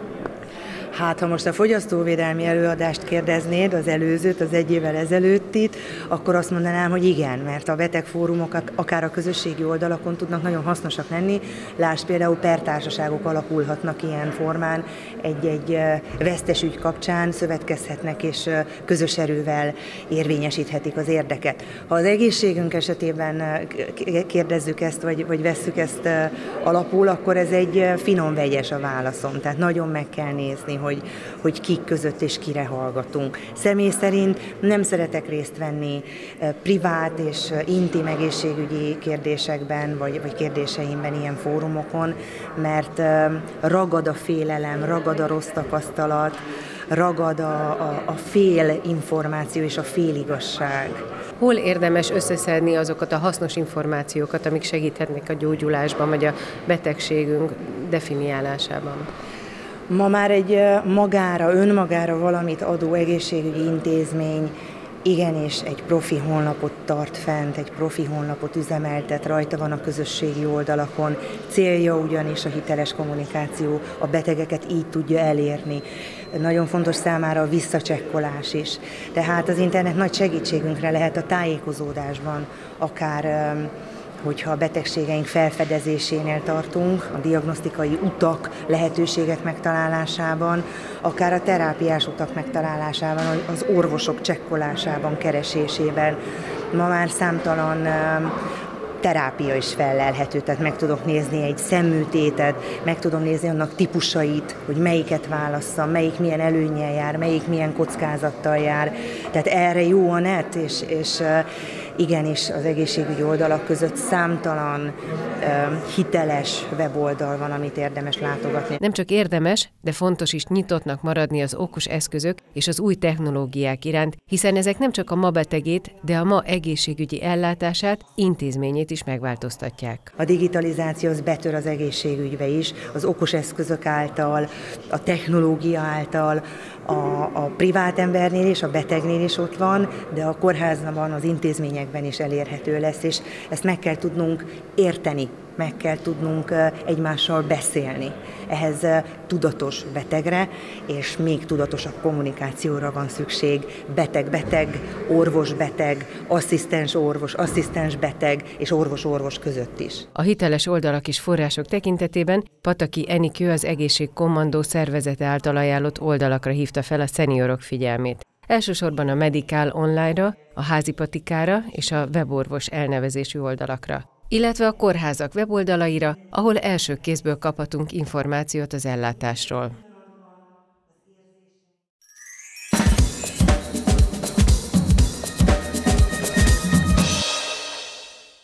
A Vekerlei Kultúrház könyvtárának világjárók sorozatában Vietnámba is ellátogathattak az érdeklődők. Az indokínai félszigeten fekvő dél-kelet-ázsiai ország forgatagában Fazekas Gábor világutazó kalauzolta a látogatókat. Vietnám délkelet-ázsiában azon belül is az Indokínának nevezett térségben helyezkedik el. Közel 100 millió ember lakik az országban. Fővárosa az ország északi részén fekvő Hanoi, ahol mindegy 4 millióan élnek. A fővárosnál azonban még nagyobb a délen fekvő Ho Chi Minh város, más néven Saigon. Az emberek tudatában benne van ez az ország, már csak a történelem miatt is. Mostanában kezdik felfedezni a turisták, tehát az van, hogy aki Indokínát fedezi föl, elsőbb a Tájföldre megy, picit Kambodzsába, és aki vissza szeretne térni, az Vietnámba megy. Valóban egyre többen fedezik fel Vietnám sokszínű természeti szépségét, csodálatos rizsföldjeit, a Mekong delta vidék árnyas csatornáit, dzsungeles hegyeit, pálmákkal ékesített fehér homokos strandjait és a halongöböl tengervizéből kiálló titokzatos szírteket. Fazekas Gábor édesanyjával járt ebben a távoli izgalmas országban. Közös útjukról együtt számoltak be a Vekerlei könyvtárban az érdeklődőknek. A Vietnám az egy francia gyarmat volt. Na most ez nagyon-nagyon erősen érződik az építészeten is. Ez a, ez a régi posta épülete Ho az egyik nevezetessége, tehát ez, ez tipikusan ilyen francia jellegű épület. Amit, amit egyébként egész Vietnámban hiányoltam, azok a vannak ugyan tradicionális emlék, emlékhelyek, azokat ugye be is jártuk nagy részbe, de picit azért, azért úgy hiányoltam ezt a régi fajta, ezeket a régi fajta épületeket. Vietnámban látszik, hogy ez a ö, ö, ö, szocialista rendszernek az épületei, tehát ez, ez mint ahogy nálunk is ez, ez úgy megvan. Talán picit kevesebb a, a, a műemlék, a régi műemlék, viszont természeti szépségében azt gondolom, hogy bátran versenynek kell bármelyik indokínai országgal. Itt a Halongöbölre gondolok, és a Hanoi és Ho Chi Minh város között elterülő hatalmas területben is számtalan természeti szépség van. Azon csodálkoztam, hogy ez milyen nagy ország. Hát ugye a térképen olyan kis keskeny, pici, és, és, és borzasztó hosszú, nagyon sokat utaztunk. Tehát úgy, hogy alvó buszon, alvó vonaton. Tehát ilyenkor lehet felmérni, hogy mekkora is ez az ország. Nem, nem egy Magyarország méretű. Hogy fogadják ott a turistát? Nagyon kedvesek a vietnámiak, ezt úgy általában lehet elmondani. egyetlen egyszer volt, nem, kétszer volt kisebb probléma, hát azért ott is különbözőek, de a, a, a, a zöme, a többség, azzal semmi nem volt. Kedvesek, segítőkészek. Ez a, az, ö, új, ö, az, az újjáegyesítés épülete.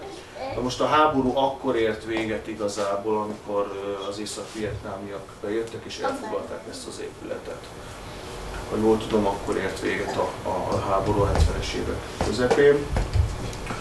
Úgyhogy ez, ez, ez ezért, ezért fontos.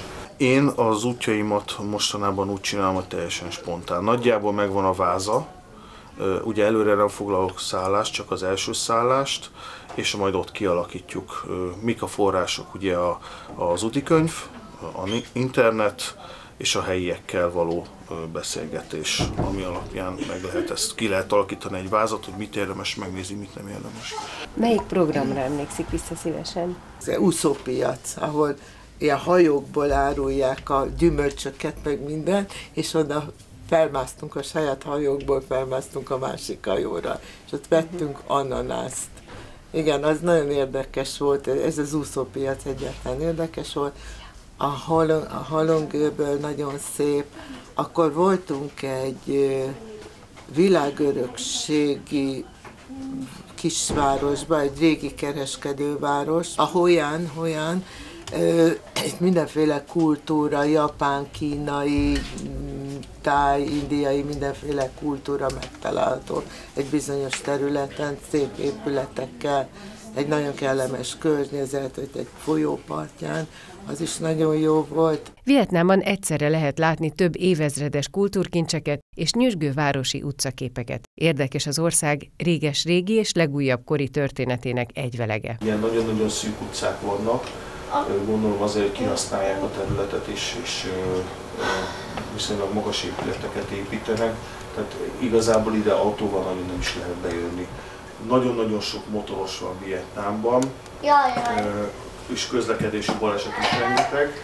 Beszéltem egy ottani, ottani emberrel, és, és elmondta, hogy, hogy a, a, csak abban, ha, ha jól értettem, egy év alatt többen halnak meg közlekedési balesetben, mint a nagy háború alatt. Ő, ők nagy háború alatt hívják a vietnámi háborút összesen.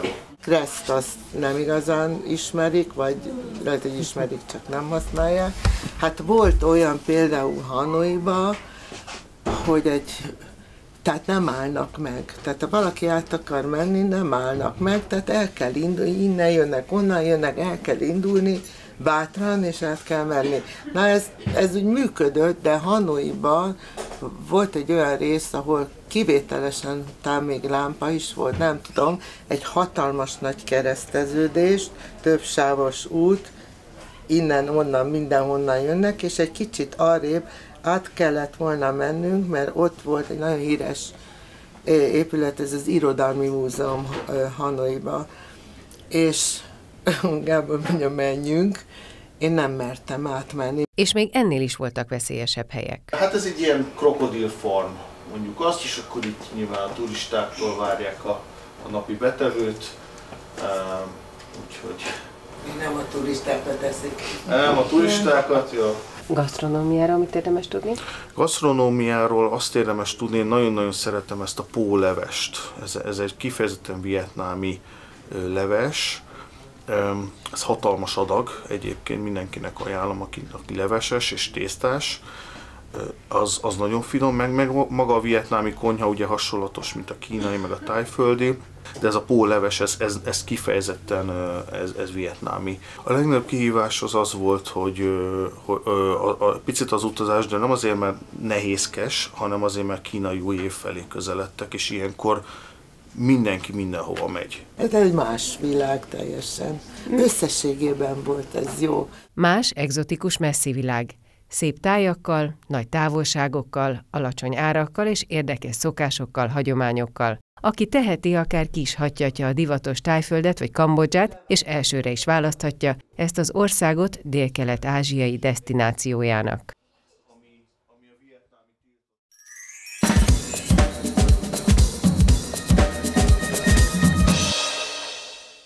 50 50 éve, november 26-án egy kispesti kocsmában alakult a verséneklés történelmi műfaját feltámasztó Kaláka együttes.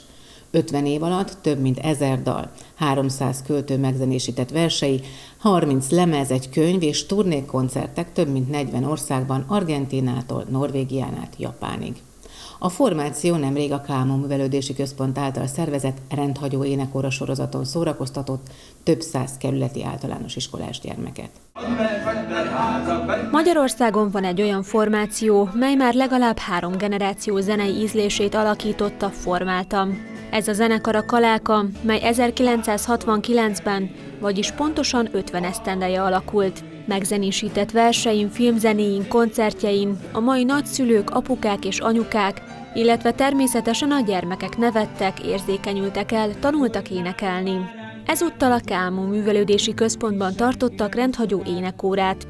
A zenekar tagjai a gyerekekhez különösen jó érzékkel közelítenek, Előadásaiknak a kicsik részeivé válnak, és így bekerülnek egy különös zenei világban, mely kötelék remélhetőleg egy életre szól. Ó, békességes, ó, dicsőséges karácsony, próbáljuk együtt. Ó, fényességes, ó, békességes, ó, dicsőséges karácsony, picit bátrabban.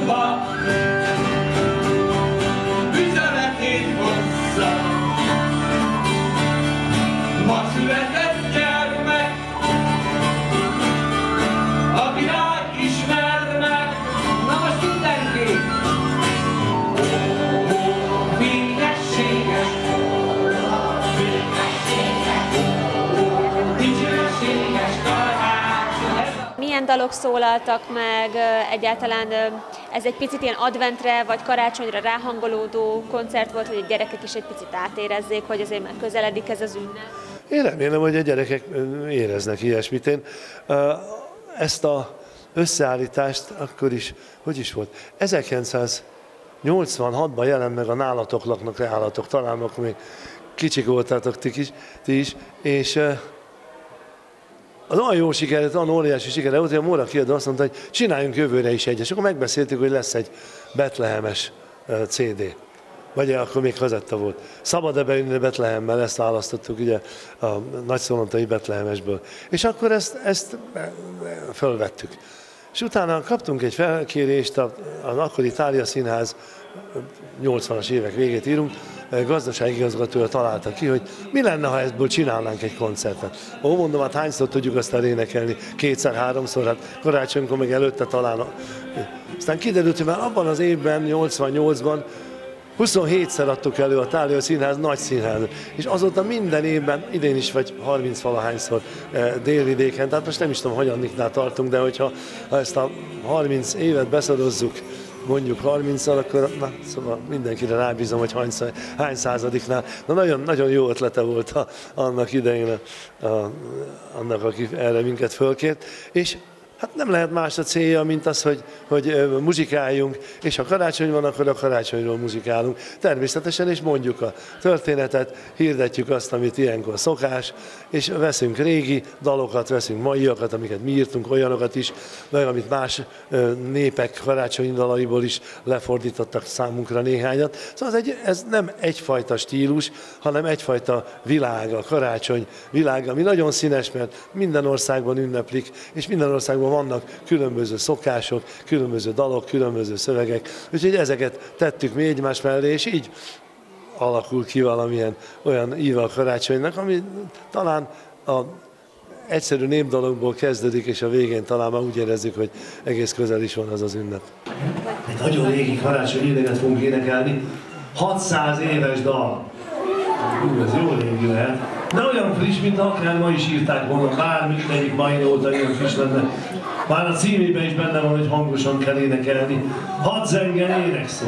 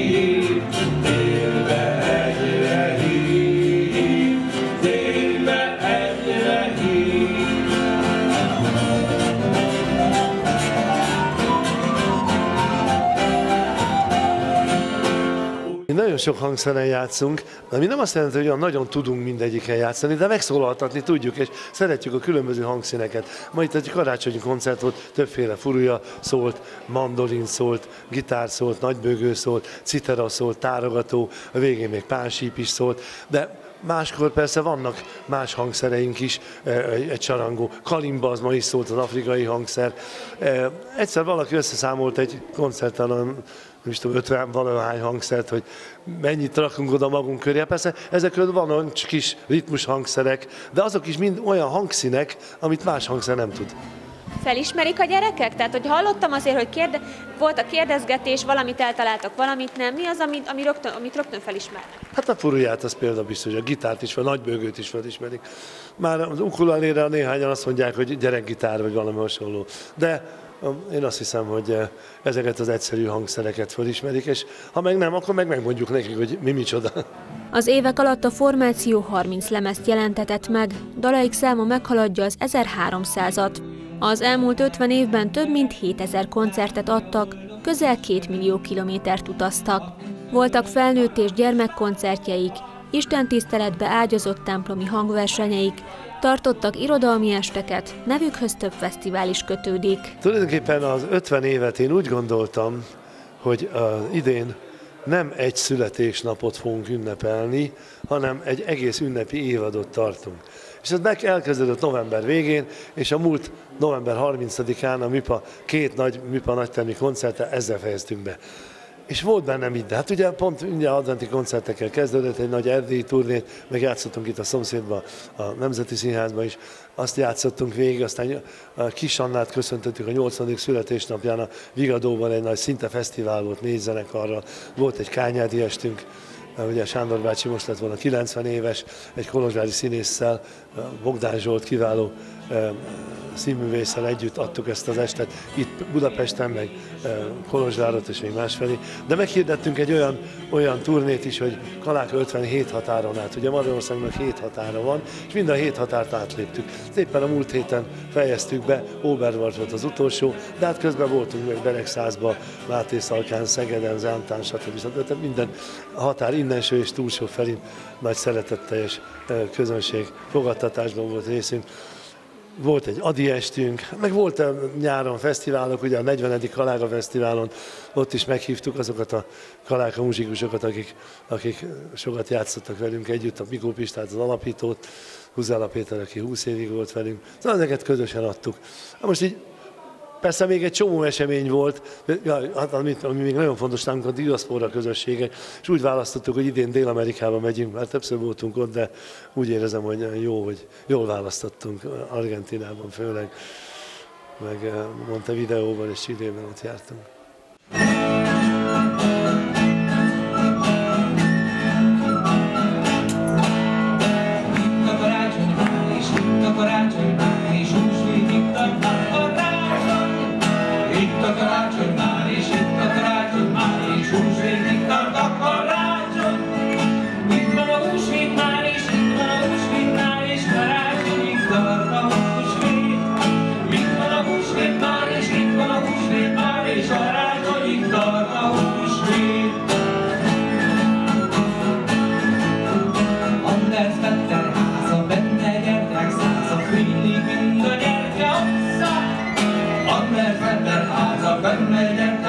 A gyertya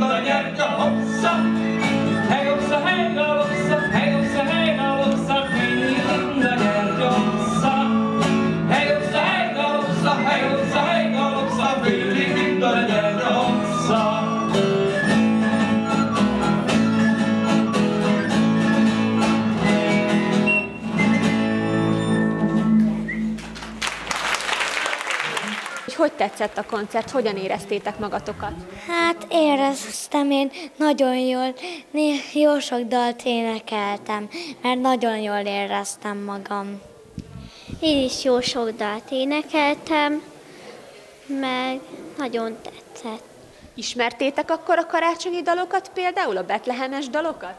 Hát én nem annyira, csak a felét, de azért ismertem jó sokat. Én az egészet ismertem.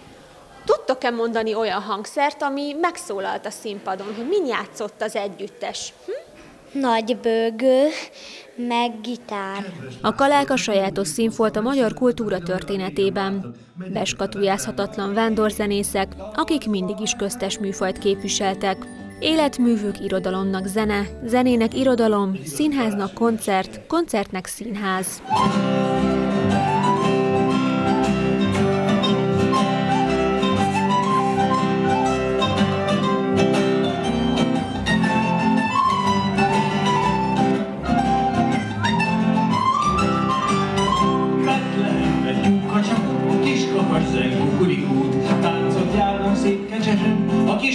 Jézus hadd nevessen, ott forognak mind körül, és a kitten lábörül. Táncot járnak szép kecsesen, a kis Jézus hadd nevessen, ott forognak mind körül, és a kitten lábörül.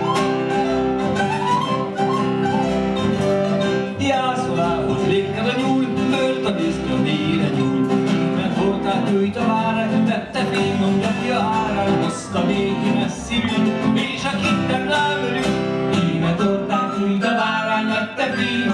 árán, hozta béki messziről, és a kitten lábörül.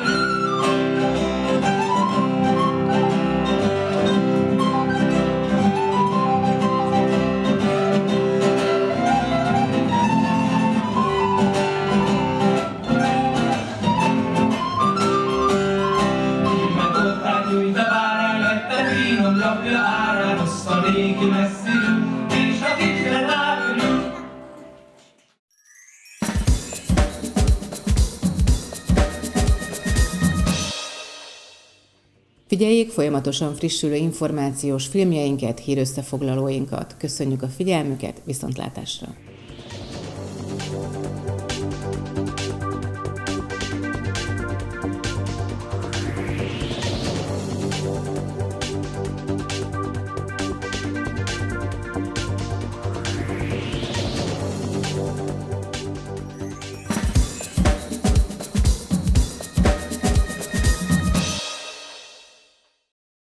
Mindenkit üdvözlök szeretettel, szép napon, gyönyörű a napsütés, és most tartunk egy tornát, egy zenés matinét Árpival, amit rendszeresen tartott itt a Zöldőófa idősek otthonában, és a mai foglalkozás is azért van, mert mindenki otthon marad, és mindenkit kérek arra már az elején, hogy maradj otthon, hogy ez a járvány minél hamarabb véget érjen, és akkor újra mehetünk a szabadba, újra tornázhatunk kint együtt, és akkor most tartunk egy olyan tornát, ahol én tornázok, ti meg a képernyőn keresztül nézitek. Köszönöm, hogy együtt vagyunk. Beállunk szépen. Jó hangosra a zenét, teljesen maximumra, teljesen maximumra tekerjük. Oldalsok között tartál, gyerekek, kicsit terpesbe állunk, és kezdjük a tornát. Magas tartások és egy, kettő, vissza a lábhoz, és le a lábhoz. Még egyszer, teljesen emeld magadra, a két kéz összeér.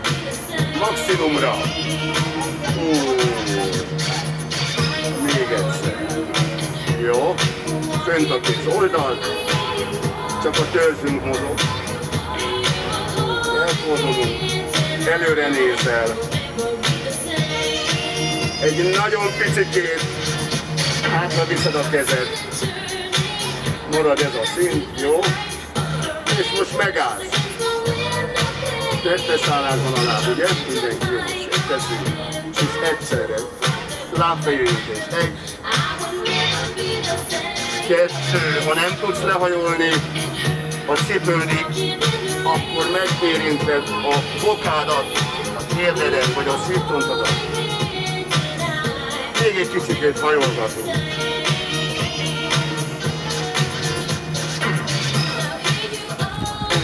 Na, egy utolsó. Egy ráadás. Jó. És most ellentétesen. Bal kéz, jobb oka. Egy. Kettő. Nagyon jó. Ellentétes láb. Szerintem mindenki meg tudja érinteni a bokáját. Nagyon jó. Oké. Jó. Csípőre a kéz. Volt döntés. Egy, kettő, három, négy, öt, hat, hét, nyolc, kilenc, tíz. Másik irányba. Egy, kettő, három, négy, öt, hat, hét, nyolc, kilenc, tíz. Jó. Megállunk egy fejkőzést. szépen forog a fej. Ellentétes irányba.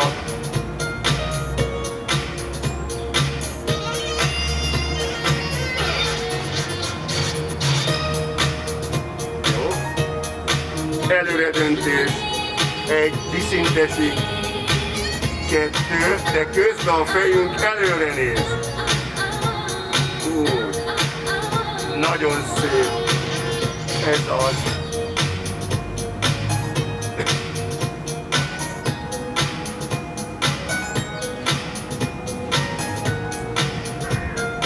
Elég, leengedjük a kezünket, és ellentétesen föl. Egy.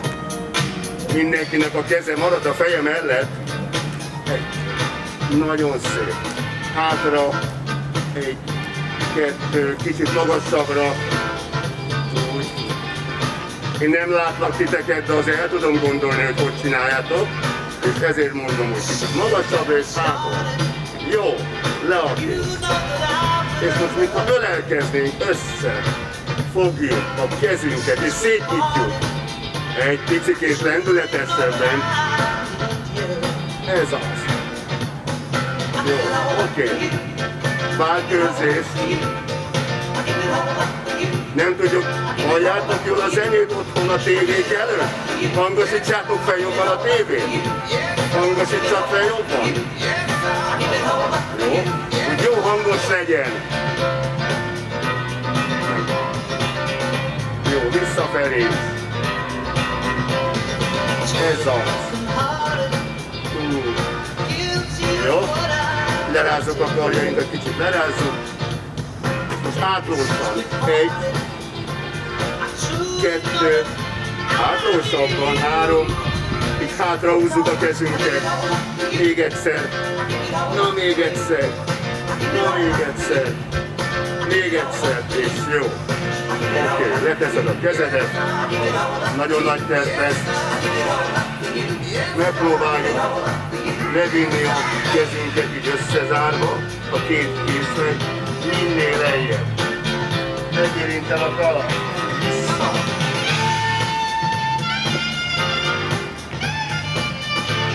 És egy picit legugolsz hozzá. Tehát a kezünk is, még a lábunk is. Próbálod megközelíteni. Tehát akkor lejjebb ugolsz. Elég. Beállunk szépen egymás mellé. Úgy tiszteltes, egy picit járunk. Helyben járunk, fönt a kéz. És ebből magas tartás. Egy, kettő, három, négy, öt, hat, hét, nyolc, kilenc, tíz, egy, kettő, három, föl a két, négy, öt, hat, hét, kilenc, tíz, oké. Páros malomkőzés. Magasabbra, visszafelé, visszafelé. Jó. Csípőre a kéz. Figyelj egy kicsit jobban. Jobb lábad előre lépsz. Egy. Picit rá ugolsz. A kitámasztott lábra. Vissza. Másik láb. Egy kicsit kitámasztasz. És rádugolsz. Jó. Jobb láb. Ráhajolsz szépen. Jó, másik láb. Jó, elég. Cipőre a kéz. Próbálunk mély ugolásokat csinálni. Egy, kettő, lemész jobban. Három, lejjebb a fenekedet. Az. Még lejjebb. Hú, egy picit lejjebb. Na még egyszer. Utolsó. Jó.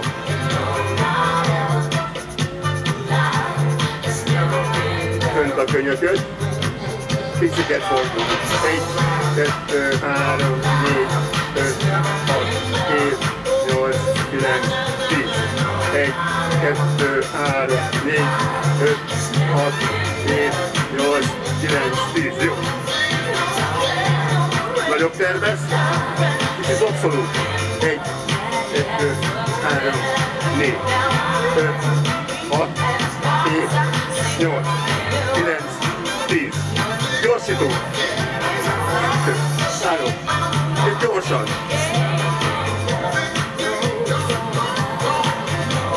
És letesszük a kezünket. Jó? Egészségetekre.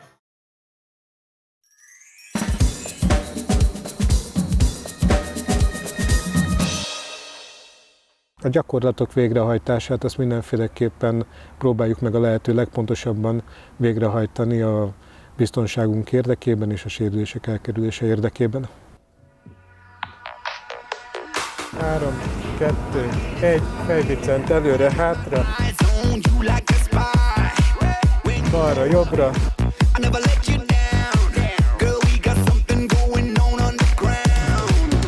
A bemelegítés azért fontos, mert fel kell, hogy készítsük a testünket egy stressz helyzetre.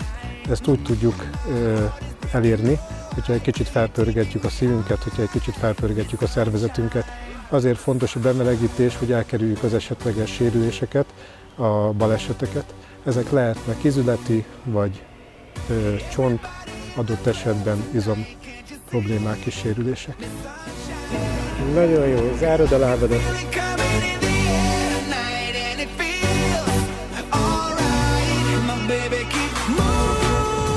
Egyenesedünk föl, csukló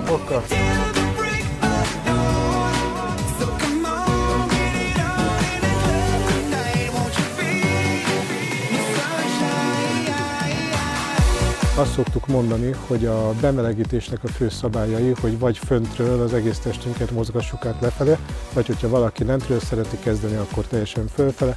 Ez azért fontos, hogy ne maradjon ki egyik testrészünk se, amit meg kell, hogy mozgassunk. A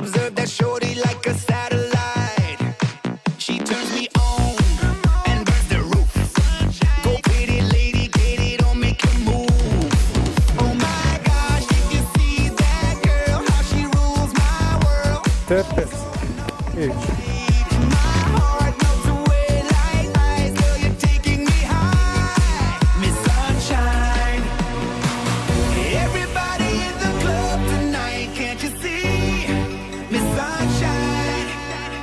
Marad a tettesz. Ugol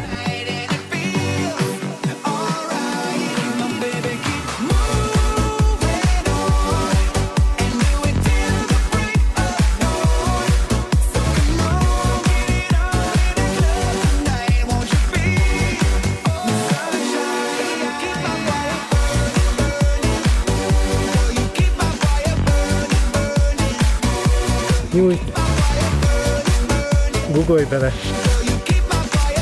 Jó, jövünk föl. És jöhet akkor egy kicsit. Föl.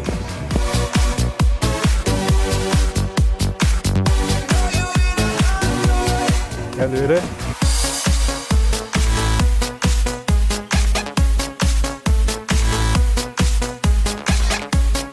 Nyújj el, így, hát. A bemelegítést, mint a főrészt is az edzésnél, illetve a nyújtást is kortól, nemtől függetlenül bárhogyan el lehet kezdeni. Egyetlen egy dologra kell odafigyelnünk, hogy ismerjük a testünket, tudjuk, hogy mi az, amit meg tudunk csinálni, milyen sebességgel tudjuk megcsinálni, a biztonság a legfontosabb. Akkor 5, 4, 3, 2, 1, és edzés az ugye edzettségi foktól függően lehet könnyebb, erősebb. Hogyan érezzük magunkat, milyen napunk van, attól függően is megválaszthatjuk az edzéseinket. Hogyha egy kicsit demotiváltabbnak érezzük magunkat, de edzenénk egyet, akkor a gyakorlatok között van olyan feladat, amit könnyedén el lehet sajátítani és végre lehet hajtani, illetve vannak nehezebb, akik már kicsit rutinosabbak, vagy érzik azt, hogy szétcsattannak az erőtől, azok nyugodtan csinálhatják ezeket az erősebb, nehezebb feladatokat. Én megrendesen verd össze a lábad, itt a lábad, három, kettő, egy, és.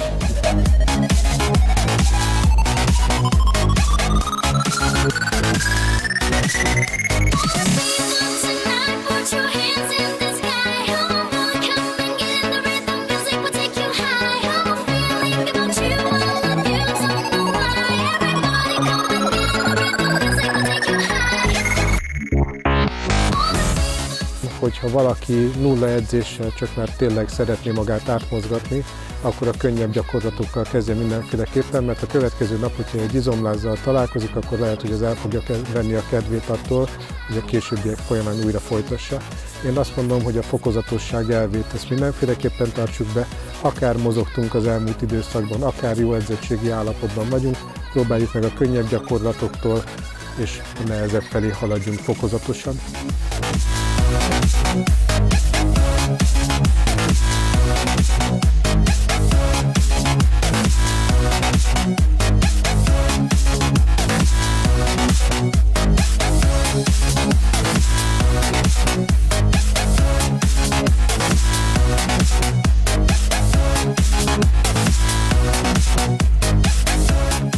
Hason fekszünk, csak láb, csak felső test, minden.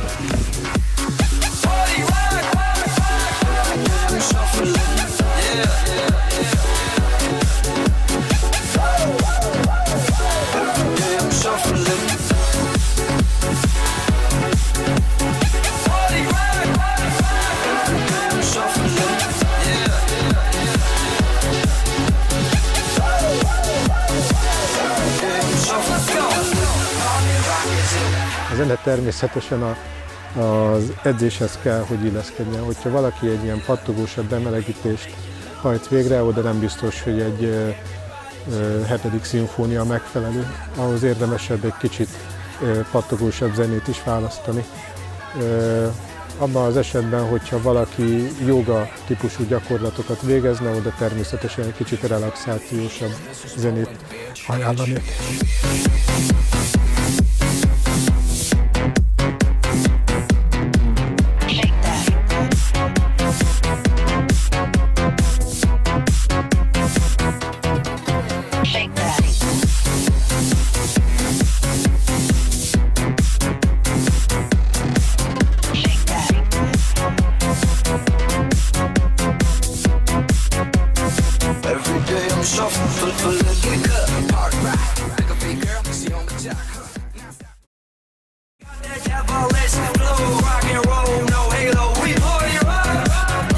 Mikor lekerülünk a talajra, azt végezhetjük szőnyegen, hogyha valakinek van tatamia esetleg, vagy pedig csak egy sima jóga szőnyege, az is tökéletesen megfelelő.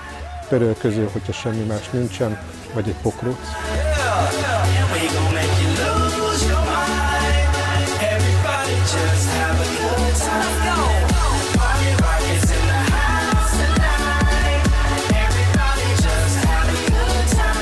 Forduljunk meg mindannyian,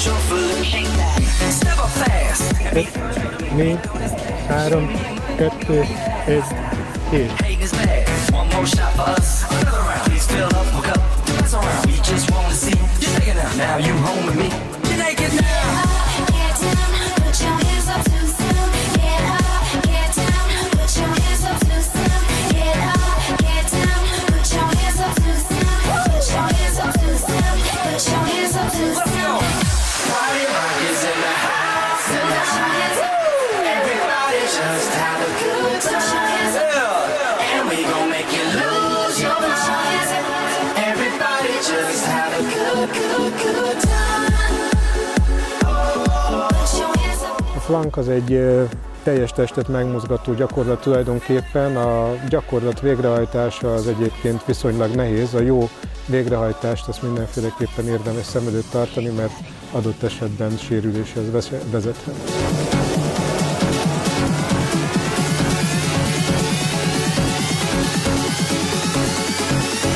This is Poland, bitch. bitch.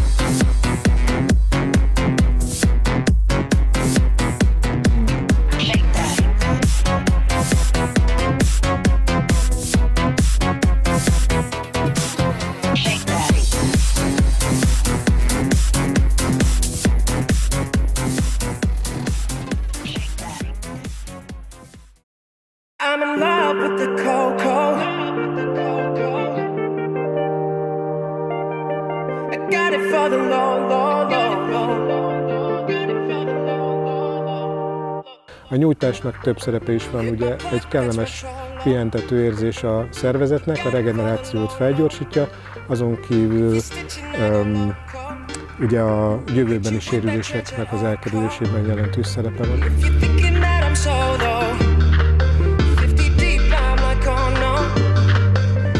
Emel vissza, engedi ki, visszanyújtja, jön föl mind a kettő.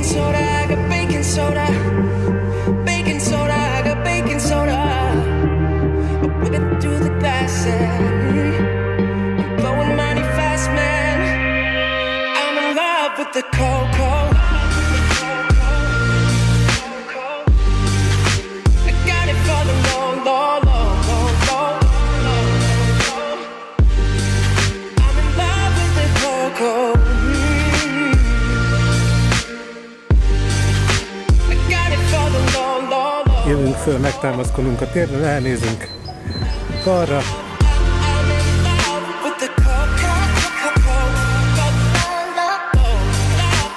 középen vagyunk Csigolyáról. Csigolyára jövünk föl, fűz, felfelé emel,